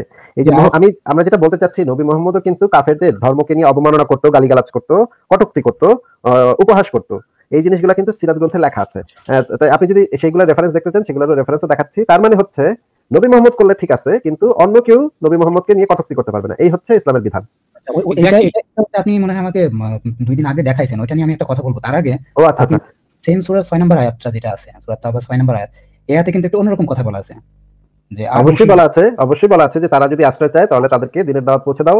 এবং নিরাপদ স্থানে চলে যেতে দাও। বলা আছে কিন্তু কিন্তু এখানে তো এখানে তো পরি- পরিষ্কার বোঝা যাচ্ছে যে তাদেরকে আসলে মক্কা থেকে বিতাড়িত করা হচ্ছে। একটা জনগোষ্ঠী যারা হচ্ছে শত শত বছর ধরে একটা অঞ্চলে ছিল তাদেরকে আসলে মানে খুবই পদ্ধতিগত ভাবে এই যে যেমন ধরেন প্যালেস্টাইনে আহ, যে ইসরায়েল যখন প্যালেস্টাইনের ভূমি দখল করেছে তখন খুবই পরিকল্পিত ভাবে ইসরায়েলি সেনারা করেছে কি প্যালেস্টাইনিদের সেখান থেকে বিতাড়িত করেছে। নানা কৌশলে বিতাড়িত করেছে যেখানে প্যালেস্টাইনিরা যুগের পর যুগ ধরে বসবাস করতো যেখানে মাটির সাথে তাদের একটা সম্পর্ক ছিল যেখানে তারা খেলা করতো যেখানে তারা ঘর বানিয়েছে যেখানে তারা স্কুল কলেজ বানিয়েছে দোকানপাট ব্যবসা বাণিজ্য করতো সেখান থেকে খুবই পরিকল্পিতভাবে একটা জনগোষ্ঠীকে ধর্মের নামে খুবই কৌশলে তাদেরকে বিতাড়িত করা ঠিক একই পদ্ধতি করেছে নবী মোহাম্মদ যেই। মক্কায় যেই মক্কাতে পত্তলিকরা শত শত বছর ধরে বসবাস করতো সেখানে ব্যবসা বাণিজ্য করতো সেখানে ছয় নম্বর আয়াতে আপনি যেটা বলছেন, সেখানে তো পরিষ্কার বোঝা যাচ্ছে যে তাদেরকে খুবই পরিকল্পিতভাবে সেই অঞ্চল থেকে বিতাড়িত করাটাই বলা হচ্ছে। হ্যাঁ এটা এটা অবশ্যই বলা হচ্ছে যে তারা যদি আশ্রয় চায়, তারা যদি আশ্রয় চায়, তারা যদি আশ্রয় চায়, তাহলে তাদেরকে তোমরা আল্লাহর কালাম তাদেরকে পৌঁছে দাও। তারপরে তাদেরকে নিরাপদে তাদেরকে এখান থেকে বের করে দাও। নিরাপদ জায়গায় পৌঁছে দাও। তার মানে নিরাপদ জায়গায় পৌঁছে দাও মানে কি? সেখানে তো ঘোষণা হয়ে গেছে যে তাদেরকে যেখানে পাওয়া যাবে হত্যা করা হবে। নিরাপদ জায়গা মানে কি? নিরাপদ জায়গা মানে হচ্ছে আরব অঞ্চল থেকে বাইরে তাদেরকে বের করে দাও। এটাই তো এখান থেকে বোঝা যাচ্ছে। বোঝাচ্ছেন তাই তো? মানে কোনো রেফারেন্স নেই আপনি বোঝাচ্ছেন এটা। না আমি আমি অবশ্যই রেফারেন্স দিয়ে বলছি যে তার আগের আয়তে বলা হয়েছে যে তাদেরকে যেখানে পাওয়া যাবে ওই নিষিদ্ধ মাস অতিক্রান্ত হলে তাদেরকে যেখানে পাওয়া যাবে হত্যা করা হবে। ওই চার মাসের মধ্যে যদি কেউ যদি মুসলমানদের কাছে আশ্রয় চায় তাহলে তাদের কাছে আল্লাহ কালাম পৌঁছে দিতে হবে। এবং তাকে নিরাপদে ওই অঞ্চল থেকে বের করে দিতে হবে। কারণ ওই ঘোষণাটা অলরেডি হয়ে গেছে। পাঁচ নম্বর আয়াতের ঘোষণাটা অলরেডি হয়ে গেছে যে তাদেরকে যেখানে পাওয়া যাবে হত্যা করা হবে। এই কারণে তাদেরকে নিরাপদে মানে নিরাপদ কাদের থেকে নিরাপদ? মুসলমানদের থেকে নিরাপদ। কারণ সেই সময় তো মুসলমানরাই সেই অঞ্চল শাসন করতেছে ভাই। সেই অঞ্চলটা শাসন করতেছে, সেই অঞ্চলে কারা ক্ষমতাশালী? মুসলমানরা ক্ষমতাশালী। তাহলে নিরাপত্তাটা কার থেকে? মুসলমানদের থেকে। এখান থেকে তো কাফেরদের থেকে নিরাপত্তা না ভাই। আপনি কি এটা পরে, এটা মনে করছেন যে এই নিরাপত্তা কার হাত থেকে ভাই? বলেন তো ভাই। আচ্ছা আপনি করেন না না না আপনি বলেন ভাই আপনি বলেন। মাতুব্বর ভাই আপনি আয়াতে বের করেন পাঁচ নম্বর আয়াত ছয় নম্বর আয়াত বের করেন আমরা একটু দেখি তো এটা কার হাত থেকে নিরাপদ? আমরা একটু দেখি তো ভাই উনি মানে এমন ভাবে বললেন যেন এটা কাফেরদের হাত থেকে নিরাপদ। মানে এটা তো মুসলমানদের হাত থেকে নিরাপদ। যে যুদ্ধের ময়দানের নিরাপত্তার একটা ব্যাপার আছে না মোটেও যুদ্ধের ময়দান না আবারও ভাই মিথ্যা কথা বললেন ভাই ধর্ম বাঁচাতে মিথ্যা বলেন না ভাই। ওইখানে মোটেও কোনো যুদ্ধ চলছিল না। আপনি যদি ওইখানে কোনো যুদ্ধ চলছিল এটা প্রমাণ করতে পারেন তাহলে আমি আপনার কাছে হার স্বীকার করে নিব। আপনি আমাকে প্রমাণ করেন যে সুরাত তওবার এই পাঁচ নম্বর আয়াত নাজিলের সময় পাঁচ ছয় নম্বর আয়াত নাজিলের সময় কোনো প্রকার মক্কাতে কোনো প্রকার যুদ্ধ চলছিল না। কীভাবে বলেন আপনাকে আমি একটু আগে রেফারেন্স দেখালাম যে সেই সময় কোনো যুদ্ধ চলছিল না সেটা হচ্ছে মুসলমানদের শাসন। সেই সময় মক্কাতে তখন মুসলমানদের শাসন প্রতিষ্ঠা হয়ে গেছে। আচ্ছা। আপনি আমাকে আপনি আমাকে সেই প্রমাণটা যদি দিতে পারেন আপনার কোন আলেমও যদি সেই প্রমাণ দিতে পারে যে সুরাত আবার এই আয়াতগুলো নাজিলের সময় মক্কাতে কোনো যুদ্ধ চলছে আমি হাত জোর করে মাপ চাইব আপনাদের কাছে যান। আচ্ছা আমি তাহলে ওই হাদিসটাতে ফিরে যাই একটু। সেই হাদিসটা একটু আবার দেখাই আমি। সে বাকি অংশটা দেখাই। তো কি বুঝলাম আমরা যে আল্লাহ বলতেছে যে কষ্টদায়ক কথা শুনে। তার মানে তারা কথা দিয়ে কষ্ট দেয়, তারা নবীর বিরোধিতা করে, কথা দিয়ে বিরোধিতা করে। বন্ড এই সেই বলে, নবী মোহাম্মদ নিজেই যেগুলো করে আসছে ইনফ্যাক্ট নবী মোহাম্মদ নিজেই যেগুলো করে আসছে। এমনকি নবী মোহাম্মদ জাতি গোষ্ঠী বলা লোক, মানুষদেরকে। তো সেই লোক, সে- সে- সেই একই কাজগুলো বিরোধিতা করে। কি করা হলো লোক পাঠিয়ে রাতের অন্ধকারে তাদের সাথে ই করে মানে এটাকে কি বলা যায়? তাকিয়াবাজি করে খুন করা হলো কাবিব আশরাফকে। খুন করার পরে তারা তো ভীত হয়ে গেল যখন। তখন তাদেরকে বলল যে, এই যে, তোমরা তাহলে চুক্তি করো, আসো, চুক্তি করো। এই যে, আমাদের ব্যাপারে কথা বললে এটাই কিন্তু নবী বিরোধিতা করলে কুচ্ছা রটাইলে এইটাই তোমাদের শাস্তি। সুতরাং চুক্তি করো। তাহলে ভাই, এই যে চুক্তির কথাটা বারবার মুমিন ভাইরা বলছে যে, চুক্তি চুক্তি চুক্তি চুক্তি, এই চুক্তিগুলোর শুরুটা তো নবী মোহাম্মদ নিজে খুনের মাধ্যমে করছে। মদিনায় হিজরত করার পরে মানে মক্কা বিজয়ের পরে যখন এই যে সবাই যে চুক্তি চুক্তির কথাটা বলতেছে যে, তাদের সাথে চুক্তি করা চুক্তি করা চুক্তি করা, এই সব কাহিনী তো নবী মোহাম্মদ নিজেই করতেছে।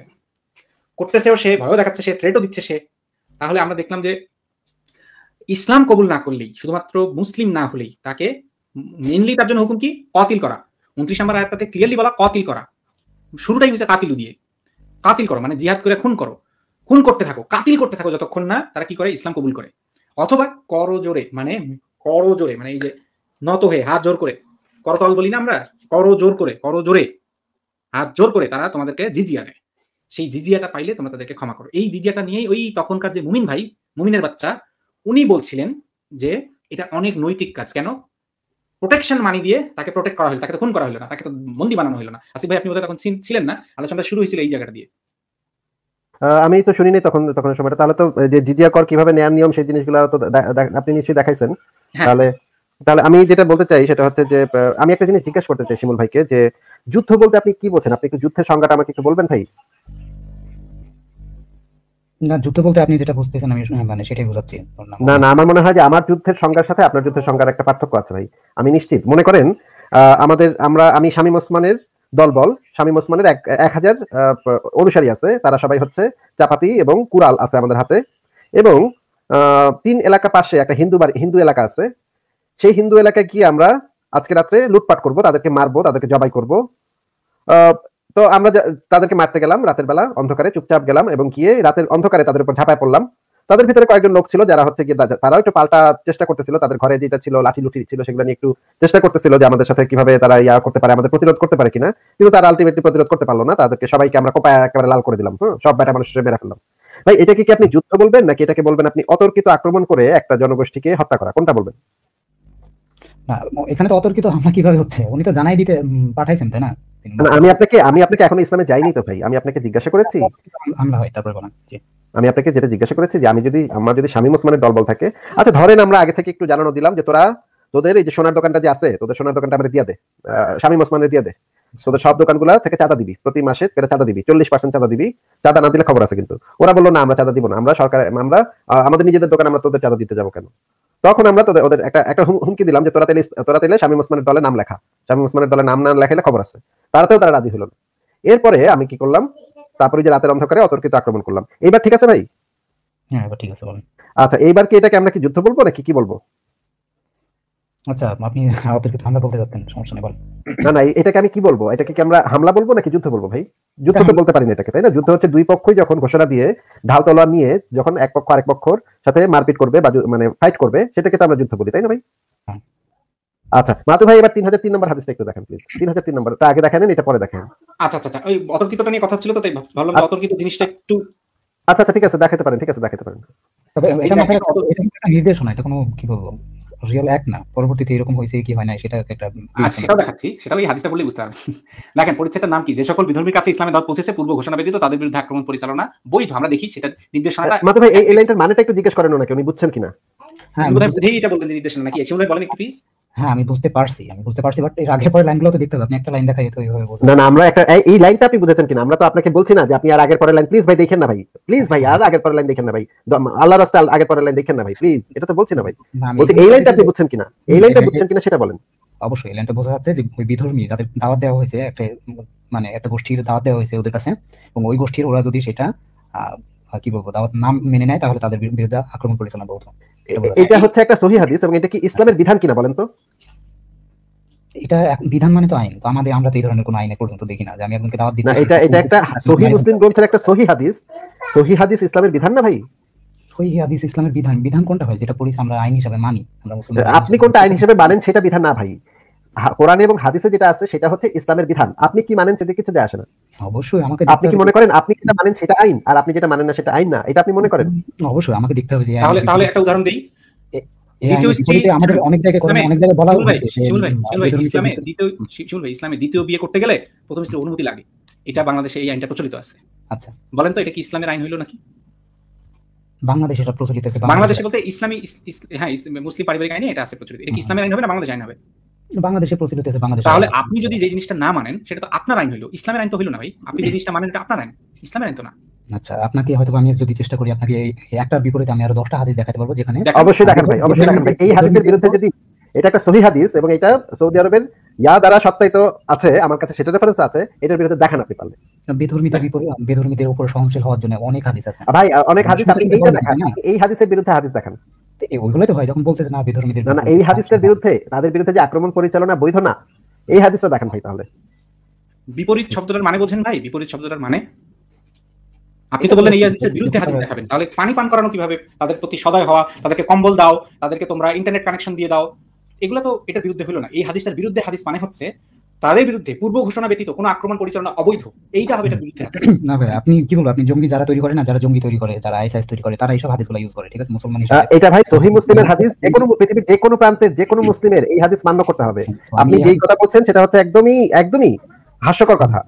আপনি যে কোনো মুসলমান হন একটু কথা শুনে নেন কথা শুনে নেন। আপনি যে কোনো সুন্নি মুসলমান হন আপনাকে যে কোনো সুন্নি মুসলমান হন এই সহি হাদিস যদি আপনি না মানেন আহ, সাথে সাথে এটা কুফরি কুফরি হয়ে যাবে। আচ্ছা মাতুবর ভাই আপনি আপনি একটু হাদিসটা একটু পড়েন তাহলে নিচের অংশটুকু একটু হ্যাঁ, পড়ে শুনুন একটু পড়ি যে এটা ওনার বক্তব্য ছিল যে এটা উনি যেহেতু করেন না বা অমুক অমুক এক্স ওয়াই জেড নামক ইসলামিক দেশে এই নিয়ম যেহেতু নাই সেহেতু এটা ইসলামের আইন না। ওনার এটা যুক্তি ছিল এই যুক্তিটা শ্রোতারাই বিবেচনা করবেন আমরা অলরেডি বলছি আর বলব না। মাতু ভাই একটু পরে দেখা যাবে একটু পরে দেখা যাবে। ওনার নবী ছিল আইএস এর জঙ্গি একটু পরে কেন দেখা যাবে এটা ভাই।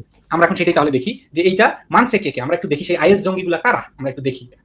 সেই আইএস জঙ্গিগুলা কারা? আমরা এখন দেখব IS IS Islamic State of Iraq and সিরিয়ার জঙ্গি কারা, আমরা এখন দেখব। অমুক অমুক থেকে বর্ণিত, তিনি বলেন, আমি নাফি রহমতুল্লাহ আলাইকে এই কথা জানতে চেয়ে পত্র লিখলাম যে, যুদ্ধের পূর্বে বিধর্মীদের প্রতি দিনের দাওয়াত দেওয়া প্রয়োজন কি না? তিনি বললেন, যে এই নিয়ম ইসলামের প্রারম্ভিক যুগে ছিল মানে পরের যুগে এটা ছিলও না। প্রারম্ভিক যুগে ছিল কি নিয়ম? যে দিনের দাওয়াত দেওয়ার প্রয়োজন আছে। রাসুল্লাহ সাল্লাহ সাল্লাম বনু মুস্তালিকের উপর আক্রমণ করলেন এমন অবস্থায় যে তারা অপ্রস্তুত ছিল। ব্র্যাকেটে লেখা, তা জানতে পারেনি। তাদের পশুদের পানি পান করাচ্ছিল। তখন তিনি তাদের যোদ্ধাদের হত্যা করলেন এবং অবশিষ্ট নারী শিশুদের বন্দী করলেন। আর সেই দিনেই তার হস্তগত হয়েছিল জুয়াইরিয়া অথবা ইবনাতুল হারিস, হারিসের কন্যা। তাহলে আমরা কি বুঝলাম? অতর্কিত আক্রমণ করে পশুদের পানি পান করাচ্ছিল। এইরকম অত অপ্রস্তুত অবস্থায় থাকা একটা গোষ্ঠীর উপরে আক্রমণ চালিয়ে যে জঙ্গিদের মতন কাজটা করছে সেই আইস জঙ্গিরার নাম আমরা দেখলাম নবী মোহাম্মদ সাল্লাহ আলাইসাল্লাম শিমুল ভাই কিছু বলবেন? মাতু ভাই, এই বিষয়টাতে কিন্তু আমি ওনাকে মানে একটা ধন্যবাদ জানাতে চাই যে এই ধরনের অ্যাক্ট এই ধরনের কাজ যে অত্যন্ত মানে জঘন্য কাজ এবং জঙ্গিদের কাজ, এটা যে উনি স্বীকার করেছেন, সেটার জন্য ওনাকে ধন্যবাদ জানাই। কিন্তু ওইটা স্বীকার করে কিন্তু উনি এখন ফেসে গেছেন, কারণ ওনার নবী এখন দেখা যাচ্ছে জঙ্গি। না আপনি একটা আয়াত দেখাইলে সেই আয়াতটা আমি না বুঝে না ইয়ে করি আমি আমরা ভাই আমরা আপনাকে আয়াত দেখাচ্ছি না আমরা আপনাকে একটা সহি হাদিস দেখাচ্ছি। হাদিস হচ্ছে হাদিস হচ্ছে কোরআনের ব্যাখ্যা। এই কোরআনের ব্যাখ্যা হিসেবে এই হাদিসগুলো এসেছে এবং এই হাদিসগুলো হচ্ছে ইসলামের বিধান সুপ্রতিষ্ঠিত বিধান শরীয়তের সুপ্রতিষ্ঠিত বিধান। আপনি যদি এই হাদিসের বিপরীতে একটা হাদিস দেখাতে পারেন আপনাকে আমি একশো বছর সময় দিলাম। দেখাতে পারবেন না আমি জানি কারণ আমি হাদিস সম্পর্কে আমাদের যথেষ্ট পড়াশোনা আছে। আমি আপনাকে গ্যারান্টি দিচ্ছি আপনি দেখাতে পারবেন না। তারপরে আপনাকে একটা সুযোগ দিলাম একশো বছর সময় দিলাম দেখান। আচ্ছা আচ্ছা মাতু ভাই তাহলে তিন হাজার তিন নম্বর হাদিসটা একটু দেখান প্লিজ আচ্ছা আপনি ওই যে যেটা সুনান আবু দাউদ শরীফের সুনান আবু দাউদ শরীফের তিন হাজার তিন নম্বর হাদিসটা এখন একটু আমাদের একটু পড়তে হবে। সেটা আরও আরও ভয়ঙ্কর সেটা আরও মানে মারাত্মক হাদিস। এবং এবং তিন হাজার তিন নম্বর হাদিসটা তাহকিকৃত সহি হাদিস সেটা হচ্ছে আল্লামা নাসিরুদ্দিন আলবানি তাহকিকও করে দিয়েছেন। হ্যাঁ মাতু ভাই তাহলে পড়বেন আপনি? না এই চুলচেরা বিশ্লেষণ ভাই এইভাবে হয় না ঠিক আছে? অনেক কিছু না চুলচেরা বিশ্লেষণ এইভাবে হয় না মানে আমরা প্রত্যেকটা হাদিস ধরে ধরে পড়তেছি এইভাবে আমরা বিশ্লেষণ করব না নাকি আপনি খালি একটা কথা বলবেন? হাদিসও দেখব না আমরা আমরা বুঝে যাব আমরা একটা কথা বলব আপনি বুঝে যাবেন। এইভাবে হবে নাকি আমরা হাদিসটা সরাসরি পড়ব? আপনি যখন একটা চুল একটা কিছু বিশ্লেষণ করবেন ওর ওই বিষয় নিয়ে আলোচনা করবেন তখন ওর আগের পরের অনেক বিষয় নিয়ে ওইটা নিয়ে একটা আলোচনা হবে। কিন্তু আপনি যে একটা একটা করে হাদিস তুলে আনছেন মানে দুই লাইনের হাদিস এটা চুলচেরা বিশ্লেষণ। মানে মানে কোন এর আগের ঘটনা পরের ঘটনা কি হইলে আপনার কাছে মনে হবে যে এটা মানে ভালো কাজ ছিল ভাই এটা একটু বলেন তো ভাই। একটা গোত্র যারা হচ্ছে গিয়ে মানে তাদের পশুদেরকে পানি পান করাচ্ছিল তাদেরকে মাইরা বেটাদেরকে মাইরা মেয়ে এবং শিশুদেরকে বন্দী হিসেবে মানে গনিমতের মাল হিসেবে তুলে নিয়ে আসলো নবী মোহাম্মদের সেনারা। এটা কোন ঘটনা? ভাই মেয়েদের কি দোষ ছিল? শিশুদের কি দোষ ছিল? ভাই তাদেরকে দাস বানিয়ে নিয়ে আসা তাদেরকে গনিমতের মাল হিসেবে নিয়ে আসা এটা কোন হিসেবে আপনি বলতে পারেন যেটা এই হিসেবে ভালো? কত নম্বর আয়াত জানো ভাই আপনাকে তো আয়াত বলা হচ্ছে না এখানে হাদিস বলা হচ্ছিল ভাই। আচ্ছা সরি সরি সরি আচ্ছা এই এই এই মানে এই হাদিসটা একটু পড়েন তো ভাই আপনি।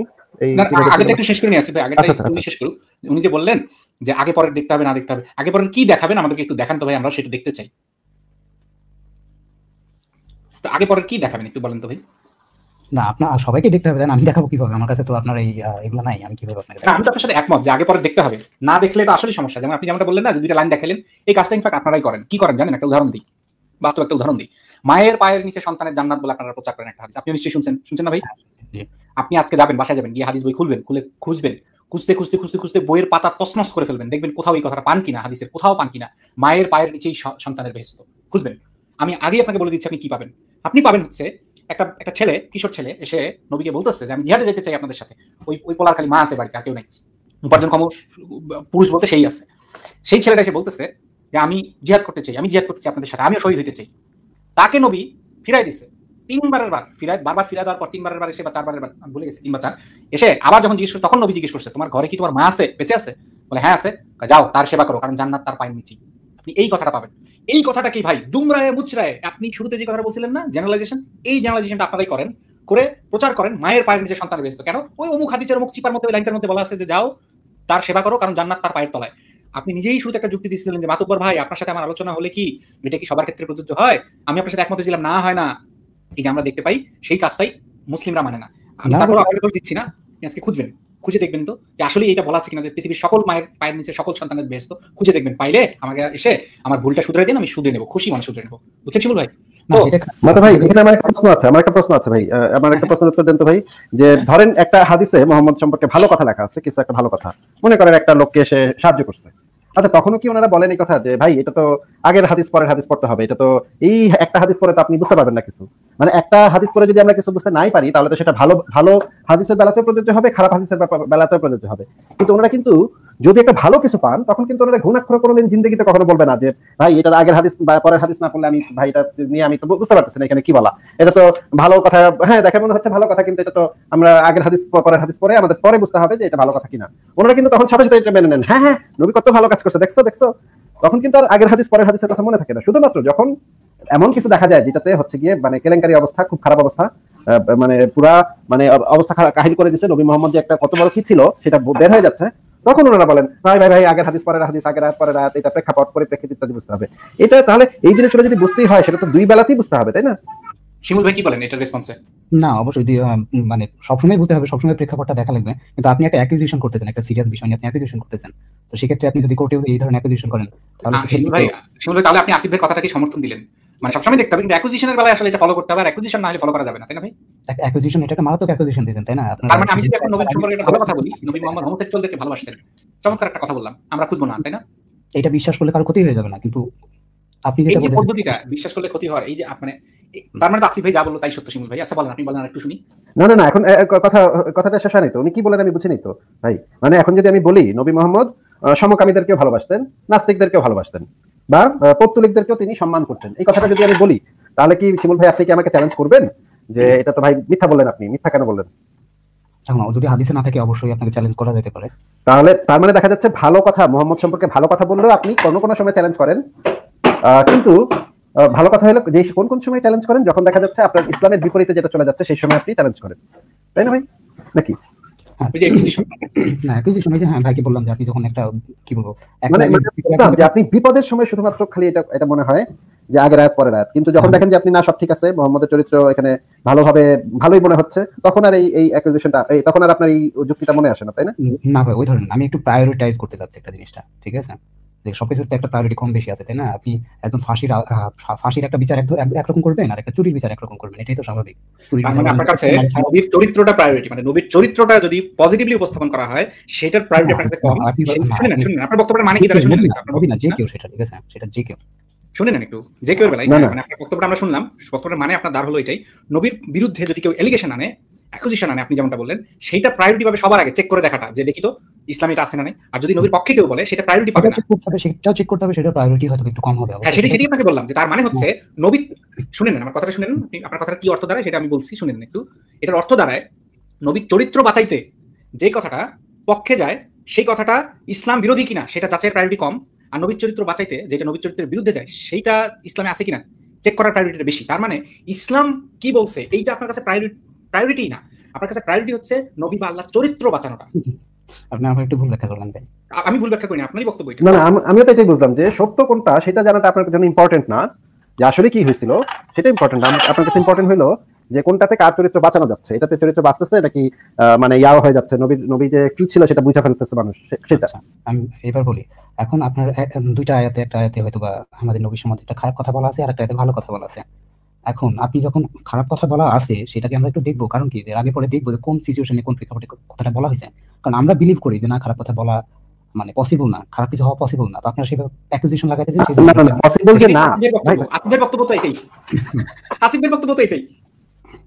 ভাই নবীর নবীর যে কোনো কিছু খারাপ থাকতেই পারে না। হ্যাঁ আপনি যে এই জিনিসটা আগে থেকেই এই সিদ্ধান্তটা নিয়ে রাখছেন এবং সেই অনুসারে আপনি চেক করতেছেন যে কোনটা কোনটা আছে কোনটা নাই। এই সিদ্ধান্তটা আপনি কোথা থেকে নিচ্ছেন ভাই? সিদ্ধান্ত নেই নাই ভাই আমি সিদ্ধান্ত না, আপনি তো আগে থেকে সিদ্ধান্ত অবশ্যই ভাই আপনি অবশ্যই আপনি সিদ্ধান্ত নিচ্ছেন যে নবী সবকিছু ভালো কিন্তু এখন ভালোগুলো যদি হয় তাহলে আমি আর এগুলো চেক করতে যাব না। কিন্তু খারাপ কিছু পাইলে আমি চেক করতে যাব। কারণ আমি আমি জানি যে নবী সবকিছু ভালো। এটাই তো আমি যেটা জানি আমি যেটা জানি আমি জানি যে আমি চুরি করি না আপনি আমাকে অ্যাকুজেশন লাগাইতেছেন আমাকে এখানে প্রুভ করতে হবে তাই না? আমি তো জানি আপনি যে আমি তাহলে শিমুল ভাই সম্বন্ধে আপনার কথাটা টেস্ট করে দেখি আমি সহজ আমাকে- উত্তর দিলে না না না মাত্র এক সেকেন্ড এক সেকেন্ড মাত্র এক সেকেন্ড। কিন্তু ভাই দুইটাই তো একটা ইনফরমেশন ইনফরমেশন হচ্ছে যে কোনো একটা জিনিস সম্পর্কে আমি কিছু তথ্য পাইলাম। সেই তথ্যটা ভালো হোক নাকি মন্দ হোক সেটা তো ভাই ভিন্ন হিসাব। কিন্তু তথ্যটা ভ্যালিড কিনা সেটা তো আমার যাচাই করার পদ্ধতি হচ্ছে। আপনার পদ্ধতিটা যদি এরকম হয় যে একটা তথ্যকে আপনি সবসময় যাচাই করে দেখেন আগেরটাও আগের আয়াত পরের আয়াত যাচাই করে তারপরে আপনি দেখেন। এটা যদি আপনার প্রসিডিউর হয় তাহলে তো এই প্রসিডিউরটা দুই বেলাতেই খাটবে তাই না? নাকি শুধুমাত্র খারাপের বেলা খাটে আপনার এটা? ওই যে আমি বললাম আমার যখন দরকার হবে যে না মানে যেটা প্রায়োরিটি দেখতে হবে তাই না আমি যদি দেখি মানে এই দরকারটা এই দরকারটা এই দরকারটা আপনার শুধুমাত্র তখনই হয় যখন হচ্ছে নবীর খারাপ কিছু আপনি দেখতে পান তখন আপনার মনে হয় তাই না? আমি- ভাই কিন্তু আচ্ছা বুঝলাম।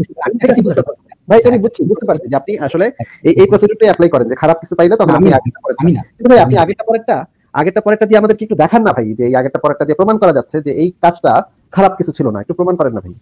আচ্ছা ঠিক আছে আমি আপনাকে একটা সিম্পল একটা প্রশ্ন করে আপনি অ্যান্সার দেন আপনার ইয়ে মতো তারপরে আমি আর এই বিষয় নিয়ে আপনার সাথে কোনো কথা ডিবেট করতে করব না সমস্যা নেই। আচ্ছা, করার আগে আগেরটা একটু সমাধান করে নিলে ভালো হতো না? যেমন হ্যাঁ, আমি আগেরটাই আমি তো আপনাকে প্রমাণ দিলাম। দেখেন আপনি মায়ের আচ্ছা শুনেন শিমুল ভাই একটা সহজ পদ্ধতি। আসিফ ভাই যে এলিগেশনটা আনছে আপনার বিরুদ্ধে শিমুল ভাই শুনেন আসিফ ভাই আপনার বিরুদ্ধে বা মুমিনদের কার্য পদ্ধতি সম্পর্কে যে এলিগেশনটা আনছে এটা একটা সিরিয়াস এলিগেশন তাই না? ডিসঅনেস্টি বলছে Okay, এটা আমরা একটু প্রমাণ করার চেষ্টা করি খুব সহজে। সহজ আচ্ছা। পদ্ধতিটা হচ্ছে কি আপনি মায়ের পায়ের নিচে সন্তানের ভেস্ত এই হাদিসটা খুব শুনছেন নিশ্চয়ই? হ্যাঁ আপনি বললেন অলরেডি এই বিষয়ে। এই হাদিসটা নিশ্চয়ই আপনি জীবনে বহুবার শুনছেন এবং নিজেও নিশ্চয়ই সবাইকে বলছেন বলছেন না? আমি শুনছি এটা একটা ইসলামিক কথা ঠিক আছে। এবং প্রচার করছেন? আমি নিজে প্রচার করি নাই তবে আমার কাছে প্রচার করা হয়েছে। প্রচার করা হয়েছে। আপনি কখনো তাকে বলছেন আগের পরের আগের পরের আয়াত আগের পরের হাদিস দিয়ে চেক করছেন এই জিনিসটা? একদম অনেস্টলি বলেন তো। বা প্রেক্ষাপট বিবেচনা এই হাদিসটা বুঝতে হলে প্রেক্ষাপট বিবেচনা করতে হবে। এমনি এমনি এই হাদিসটা বোঝা যাবে না। প্রেক্ষাপটটা বুঝছে তারপরে এই হাদিসটা পালন করতে হবে। এটা কি আপনি কাউকে বলছেন ভাই এখন পর্যন্ত? আমার প্রয়োজন পড়ে নাই কারণ আমি কোনো এথিস্ট না। আমি যদি এথিস্ট হইতাম তাহলে আমি বলতাম এক্স্যাক্টলি এইটাই তো আসিফ ভাইয়ের অভিযোগটা। তো আপনি তো একমতই হচ্ছেন বারবার। কিন্তু আপনি বুঝতে পারতেছেন না যে আপনি একমত হচ্ছেন। যে আপনার প্রয়োজনটা হচ্ছে কখন? নবীর চরিত্র যখন বাঁচানোর প্রয়োজন আসবে সেটা হচ্ছে আপনার প্রয়োজন। ইসলামে আমার এলিগেশনটা বুঝছেন? এলিগেশনটা দরকার আমি আপনাকে টেক্সটে লিখে দিই যাতে আপনার বুঝতে সুবিধা হয়। এলিগেশনটা হচ্ছে শুনেন না না আপনি বুঝতেছেন ঠিক আছে আমি আমি বলি আমাকে বলতে দেন না কিন্তু আপনি লাস্ট ফাইভ মিনিটস একটা কথা। ঠিক আছে দুজনেই বলতে দেন নাই। আমি বুঝতে এই কথাটা বললেন না যে লাস্ট ফাইভ মিনিটস কথা বলতে এটা বললেন না আমি শুধু অ্যান্সার আপনি কারণ দিচ্ছেন। না। আপনি কারণ কারণ আপনি যে বলেছেন আপনি কথা বলেছেন সেটা কিন্তু ইউটিউবে আছে আমরা বাজারে দেখাতে পারব আমি শুধু অ্যান্সার। করছি আমি শুধু করছি। আপনি প্রশ্ন করেছেন এই যে দেখেন আপনার এই যে এই যে এই যে লাইনটা এখানে লিখে রাখছি। আচ্ছা, আচ্ছা। এই যে এই জিনিসটা শুনে নেন শুনে নেন। কি বলি একটু শুনে নেন। শুনে কথা বলেন তাহলে আপনার অ্যান্সার করতে হবে তখন আপনি নিজেই বক্তব্য দিতে পারবেন। আমি শুনছি ভাই তখন থেকে। হ্যাঁ এই যে আপনার কাছে ইসলামে কি আসলেই আছে না নাই? মানে ইসলাম সম্পর্কে একটা লোক মিথ্যা কথা বলতেছে কিনা? এইটা আপনার প্রায়োরিটি না। এইটা আপনার প্রায়োরিটি নির্ণয় করার কোনো মানদণ্ড না। আপনার মানদণ্ড হচ্ছে এই যে এইটা। ঠিক বললাম আমি? ঠিক বললাম? না এটা ভুল বললেন কীভাবে ভুল বললাম? আপনার এতক্ষণ ঠিক আছে বুঝান কীভাবে এই এতক্ষণ তো আপনি আমরা একমতই হইলেন আমার কথার সাথে আপনি একমতই হইলেন ভাই। আপনি যে কথাগুলো বলছেন ঘোরা ফেরা তো একই কথা। আচ্ছা আমি হচ্ছে বা আমি আমার বাসা কুষ্টিয়াতে আমি কুষ্টিয়া কোর্টে কয়েকদিন আগে গেছিলাম। তো ওইখানে আমি দেখলাম যে কয়েকটা রায় সাজা দিচ্ছে। দুই মিনিট তিন মিনিট সর্বোচ্চ চার মিনিট। কোনো কোনো রায় জাস্ট কোনো কিছু শুনতেছেও না। সাথে সাথে ছেড়ে দিচ্ছে। আর আরেকটা মামলাতে আমি গেছিলাম যেটা ঢাকা হাইকোর্ট পর্যন্ত গেছে। প্রায় ছয় মাস ধরে চলছে ঠিক আছে? তো আপনি আমাকে বলেন যে কেন একটা মামলা ছয় মাস চলল আর কেন একটা মামলা দুই চার মিনিটে শেষ হয়ে গেল? জানি না তো ভাই। আমি ওরা কেন ওরা কেন মামলা বেশি দিন চালাইছে কেন কম দিন চালাইছে আমি তো বলতে পারব না ভাই। আপনি না ওইটা ছিল একটা খুনের মামলা সেই জন্য ছয় মাস চলছে। আর এই মামলাগুলো ছোটখাটো মামলা হয়তো বা পার্কিং এর মামলা। হ্যাঁ, তার মানে দাঁড়াইলো আপনার আপনার উদাহরণ দিয়ে মানে দাঁড়াইলো এই যে দুইটা এই দুইটার মধ্যে কোনটা আপনার কাছে খুনের মামলা কোনটা আপনার কাছে চুরির মামলা ভাই? আপনি বলেন আমরা মিলাই নিই। মানে কেউ কোনো ভালো কথা বলা থাকলে সেটা হচ্ছে সাধারণ চুরির মামলা চিৎকার চুরির মামলা হয়তো লাড্ডু টাড্ডু চুরি করছে। আর যদি নবী মোহাম্মদ অতর্কিত আক্রমণ করছে যেটা সহি হাদিসে পরিষ্কার লেখা আছে এটা লেখা থাকার পরেও পরেও আচ্ছা। মাতব্বর ভাই ওনার বলতে হবে এটা যে না না না না না, না এটার আগের আয়াত পরের আয়াত আগের হাদিস পরের হাদিস দেখতে হবে। মারাত্মক অ্যাকুজেশন লাগাইতেছেন আমি দেখব না আগের পরে রায় হ্যাঁ ভাই, তাহলে শিমুল ভাই তাহলে আপনি আমাদেরকে বলেন তো আপনি যে দুইটা মামলার কথা বললেন না প্রায়োরিটি সেট করলেন না দুই রকম ভাবে প্রায়োরিটির কথা বললেন না খুনের বেশি প্রায়োরিটি পায় খুনেরটা গুরুত্বপূর্ণ। আমি আপনার কাছে তখন থেকে আমরা এটাই জানতে চাচ্ছি আপনার কাছে গুরুত্বপূর্ণ কোনটা? এই দুইটার মধ্যে এখানে দুইটা জিনিস আছে বলেন তো দুইটার মধ্যে কোনটা গুরুত্বপূর্ণ আপনার কাছে? কোনটা যে ইসলামে কি আছে নাই? হ্যাঁ। এটা হ্যাঁ। আচ্ছা আমি আরও আরও আরও একদম একদম? একদম আরও প্রিসাইজলি বলি ইসলামে আসলেই আছে। ভাই আপনাদের সাথে এইভাবে আলোচনা করতে হবে ভাই নিজেরই ভাবতে অবাক লাগে। দেখেন ইসলামে আসলেই আছে নাকি নাই? এইটা একটা ব্যাপার মানদণ্ড যেটার ভিত্তিতে আপনি সেট করবেন প্রায়োরিটি আর একটা হচ্ছে নবীর চরিত্র বাঁচানো যেটার ভিত্তিতে আপনি সেট করবেন প্রায়োরিটি আপনি কোনটার ভিত্তিতে সেট প্রায়োরিটি সেট করেন ভাই? বলেন তো একটু। ইসলামে আসলে আছে কি নাই এটার না এটার ভিত্তিতে আপনি করলেন না কারণ আপনি নিজেই যুক্তি দেখাইলেন কেন অ্যাকুইজিশনের জিনিসটা আপনি চেক করছেন কিন্তু মায়ের পায়ের নিচে সন্তানের জান্নাত এটা আপনি কোনোদিন চেক করেন অ্যাকুইজিশনটা আপনি আজকেই শুনলেন আজকেই চেক করতে বসে গেলেন অথচ মায়ের পায়ের নিচে জান্নাত এটা আপনি সারা জীবন শুনছেন অথচ আপনি চেক করতে যান নাই। ঠিক বললাম? এক্স্যাক্টলি কারণ ওটা তো তাহলে ঠিক আছে তাহলে আর এই বিষয়ে আপনি কি হ্যাঁ, বলতেছেন? আমি কি বলতেছি? শ্রোতারা সবাই শুনলো? সবাই বুঝতেছে জি জি হ্যাঁ সবাই বুঝবে যে আপনার কোন জায়গায়? আচ্ছা আমরা এটা একটা হিউম্যান নেচার ভাই প্রায়োরিটি না এক্স্যাক্টলি তো তো সেটাই তো আসিফ ভাই বলতেছে যে এটা আপনাদের হিউম্যান নেচার এটা। একজন মুসলিমের নেচার ঠিক যেমনটা ঠিক যেমনটা আহ, ভাই একজন হিন্দুকে যখন আমরা বললাম যে আপনাদের রাজা রামচন্দ্র সম্মুখ নামক একজনকে হত্যা করেছিল নিচু জাতি হওয়ার জন্য তখন ঠিক একই হিন্দু ব্যক্তিটা ঠিক একই ভাবে কথা বলেছিল যেভাবে হোক তার রামের চরিত্রটাকে পরিষ্কার করতে হবে এবং রামকে মহাবিশ্বের সর্বকালের সর্বশ্রেষ্ঠ রাজা হিসেবে প্রচার করতে হবে। এই কারণে সে ওইটাকে বলো না ভাই, প্রেক্ষাপট দেখতে হবে, আগের হাদিস, পরের হাদিস, না না সরি সরি আগের আয়াত, পরের আয়াত, এগুলো দেখতে হবে। এবং উনিও যেটা করলেন, আমি নিশ্চিত যে যে ধর্মের মানুষই, সেই ধর্মের মানুষই এই কাজটা করেন, কিন্তু এটা তো লজিক্যাল না তো ভাই। লজিক্যাল হচ্ছে যে আপনি যখন একটা প্রসিডিউর মানে দাঁড় করাবেন, সেটা ভালো আয়াতের ক্ষেত্রে আপনি সেই প্রসিডিউরটা ফলো করবেন। আচ্ছা ঠিক আছে, আপনার প্রসিডিউরটা হবে। আচ্ছা ঠিক আছে এই তাহলে ভালো আয়াতের ক্ষেত্রেও তো আমার আমার একই প্রসিডিউর ব্যবহার করে দেখা উচিত যে এটা আসলে ইসলামে আছে নাকি নাই। যদি যদি এটা করতে গেলে লাইফ শেষ হয়ে যাবে একটা মানুষের ঠিক আছে? না না তাহলে এটা করতেছি কিন্তু আপনি বলতেছেন যে সবাই এটাই ভাবে তার মানে আপনি ইসলাম সম্পর্কে কিছু না জেনেই ইসলামকে অন্ধভাবে বিশ্বাস করবেন এটাই আপনার একটু জানতে হবে না ইসলাম আসলে কি আছে? তাহলে তো আসিফ ভাই এতক্ষণ ধরে যে এলিগেশনটা দিল শিমুল ভাই আপনি তো ইনডিরেক্টলি সেটাই সমর্থন করলেন যে ইসলামে আসলে কি আছে নাই ইসলামটাকে বিকৃত করা হচ্ছে কিনা এটা আপনার কাছে কোনো জরুরি বিষয় না। জরুরি বিষয় হলে আপনি প্রত্যেকটাই চেক করতেন। আপনি চেক করেন কোনটা শুধুমাত্র যেগুলো চরিত্রের বিরুদ্ধে যায় নবীর বিরুদ্ধে যায় আল্লাহর বিরুদ্ধে যায় সেইগুলো এবং তার প্রমাণ পাইলাম আমরা একটু আগে এবং আরও একটা কথা আপনি যে বক্তব্যটা বলতেছেন আগের পরের সেম ভাবে আমরাও বলতে পারি। আপনি যে ছয় নম্বর আয়াতটা দেখাচ্ছিলেন এতক্ষণ আগের পরের আয়াত দেখেন পুরা সুরা দেখেন প্রেক্ষাপট দেখেন অবশ্যই অর্থাৎ দুইজনই বলতে পারি। এবং দুইজনের এই বলাটার চাইতে সবচেয়ে জরুরি বিষয় কি? আসলেই সেখানে কি বলা আছে সেটাই আমরা দেখতেছিলাম। সেখানে আমরা দেখতেছিলাম দেখেন এই হাদিসটা নিয়ে একটু আগে কথা হলো ক্লিয়ারলি বলা যে রাসুল সাল্লাহ সাল্লাম বনু মুস্তালিকের উপর আক্রমণ করলেন এমন হ্যাঁ, অবস্থায়। জি, হ্যাঁ এই হাদিসের বিরুদ্ধে আপনার কি এই মুহূর্তে দেখানোর মতন কোনো হাদিস বা আগের পরের আয়াত আগের পরের হাদিস এমনকি কোনো হাদিস গ্রন্থ কোনো বিধান কোনো কিছু আছে? আপনারা তো প্রস্তুতি নিয়ে আসছেন আমি অবশ্যই আমি আমি নিয়ে সব কিছু নোট করে আসছি ঠিক আছে? আমি নোট করে রাখছি। আমি অবশ্যই একদিন প্রিপারেশন আমারও থাকবে সমস্যা নাই। ইনশাআল্লাহ. ইনশাআল্লাহ আমরা ওই দিন শুনব আপনার কাছে। তার আগ পর্যন্ত আমরা ধরে নিচ্ছি আপনার কথার কোনো ভ্যালিডিটি নেই কারণ আমরা এটা তো অভিযোগ জানাইছি। আচ্ছা পরের কথা শুনেন। ওই হাদিসটাতে ফিরে যাই। মদিনা থেকে ইয়াহুদিদেরকে কীভাবে উচ্ছেদ করছে যেটা আসিফ ভাই বারবার বলতেছে। ভাই এই হাদিসটার আগের পরের বা এরকম যে কোনো কিছু দিয়ে আপনি এটাকে ডিফেন্ড করেন দেখে আমরা একটু শুনি।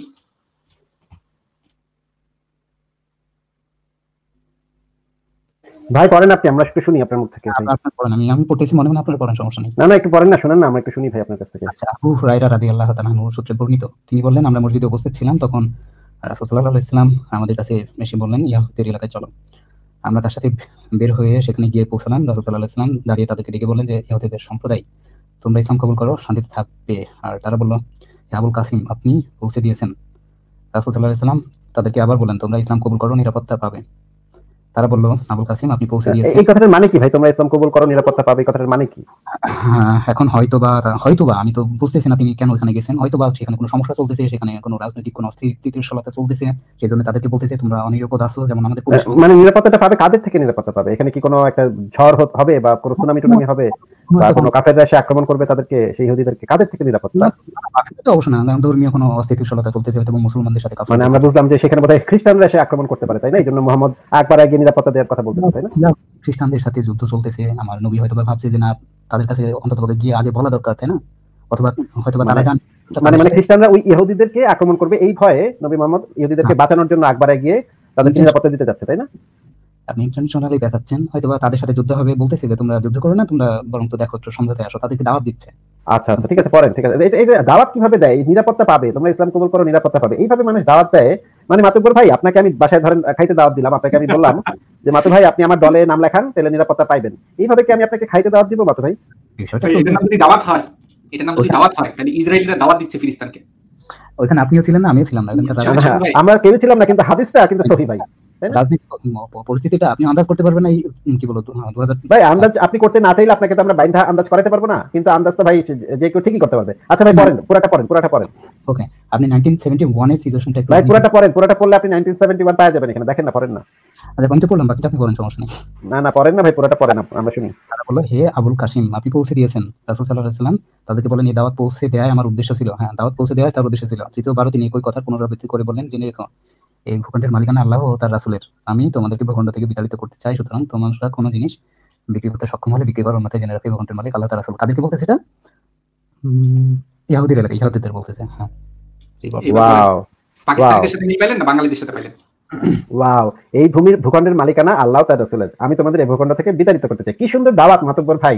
এরকম সুন্দর দাওয়াত ভাই আমার এখন পর্যন্ত কেউ দেয় নাই। ধরেন আমাকে কেউ দাওয়াত দিচ্ছে At least তিনি একটা warning কি সুন্দর কি সুন্দর কি সুন্দর করে দাওয়াত দিচ্ছে মিষ্টি ভাষায় দাওয়াত দিচ্ছে ভাই এত সুন্দর মিষ্টি ভাষায় কেন? আপনি একটা ওয়ার্নিং পাবেন এটাকে কি ভাববো?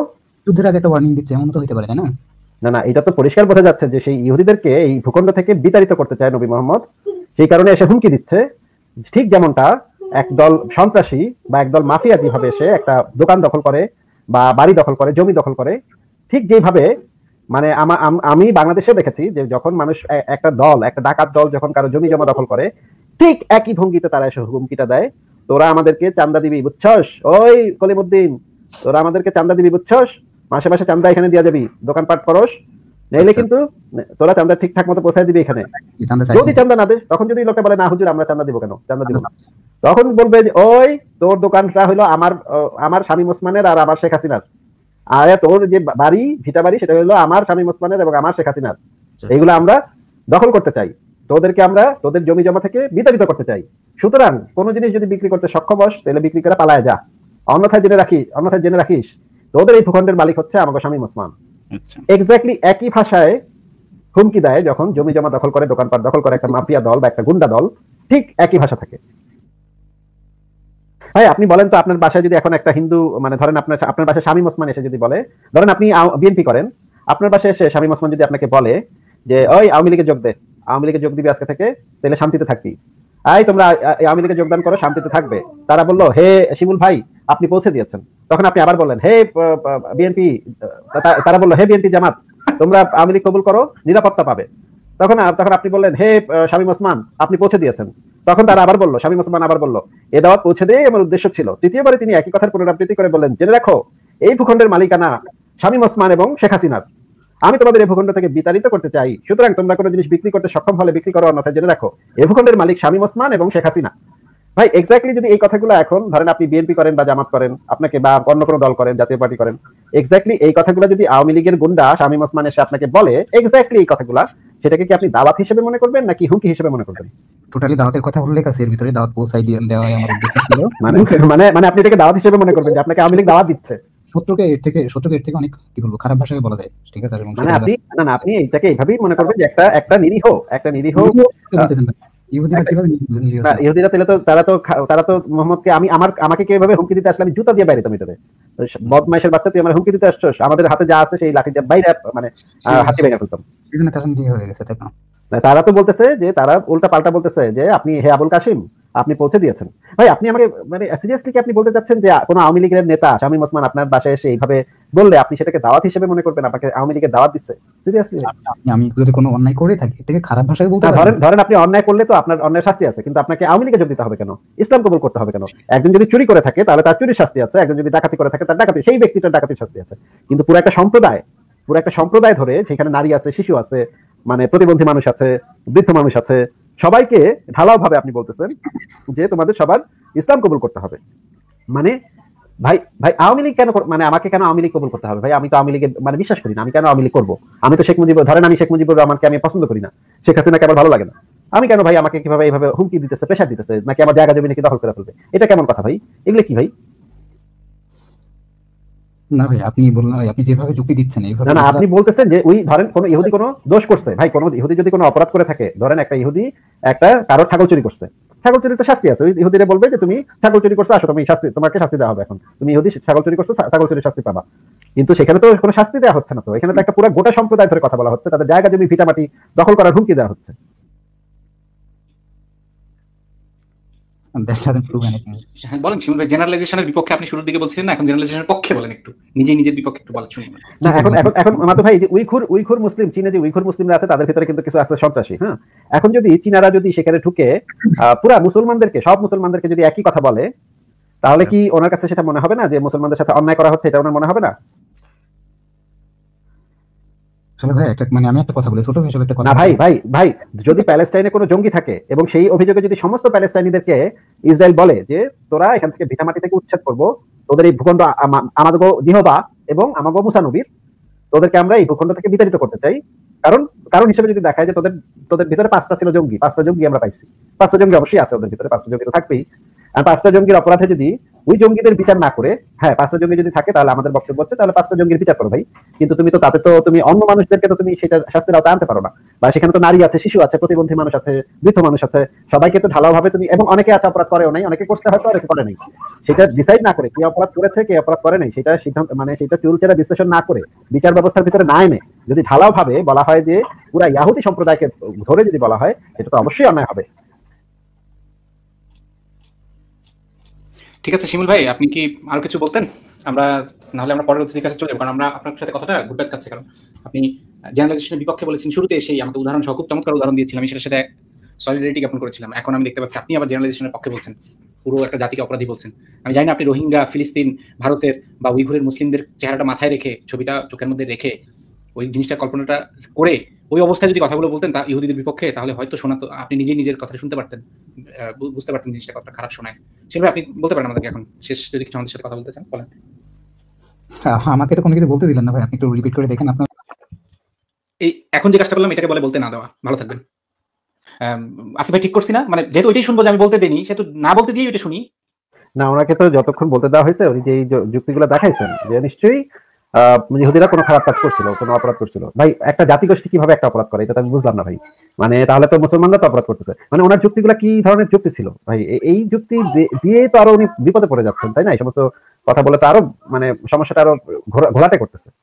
এক্স্যাক্টলি এবং এটা খুবই খুবই খারাপ লাগে যখন বলে যে আমাকে বলতে চাচ্ছেন, ভাই, একটা মানুষকে এইভাবে এইভাবে মানে রীতিমতো স্লেট আর চক নিয়ে এইভাবে লিখে বুঝাইতে হয় আলোচনা করতে, সেই মানুষটার সাথে দুই ঘণ্টা ধরে বা এক ঘণ্টা ধরে, দেড় ঘণ্টা ধরে কথা বলতেছি আমরা। এরপরে যদি শুনতে হয় যে কথা বলতে দিনি ভাই তাহলে কথা বলতে না দেওয়াটাই ভালো।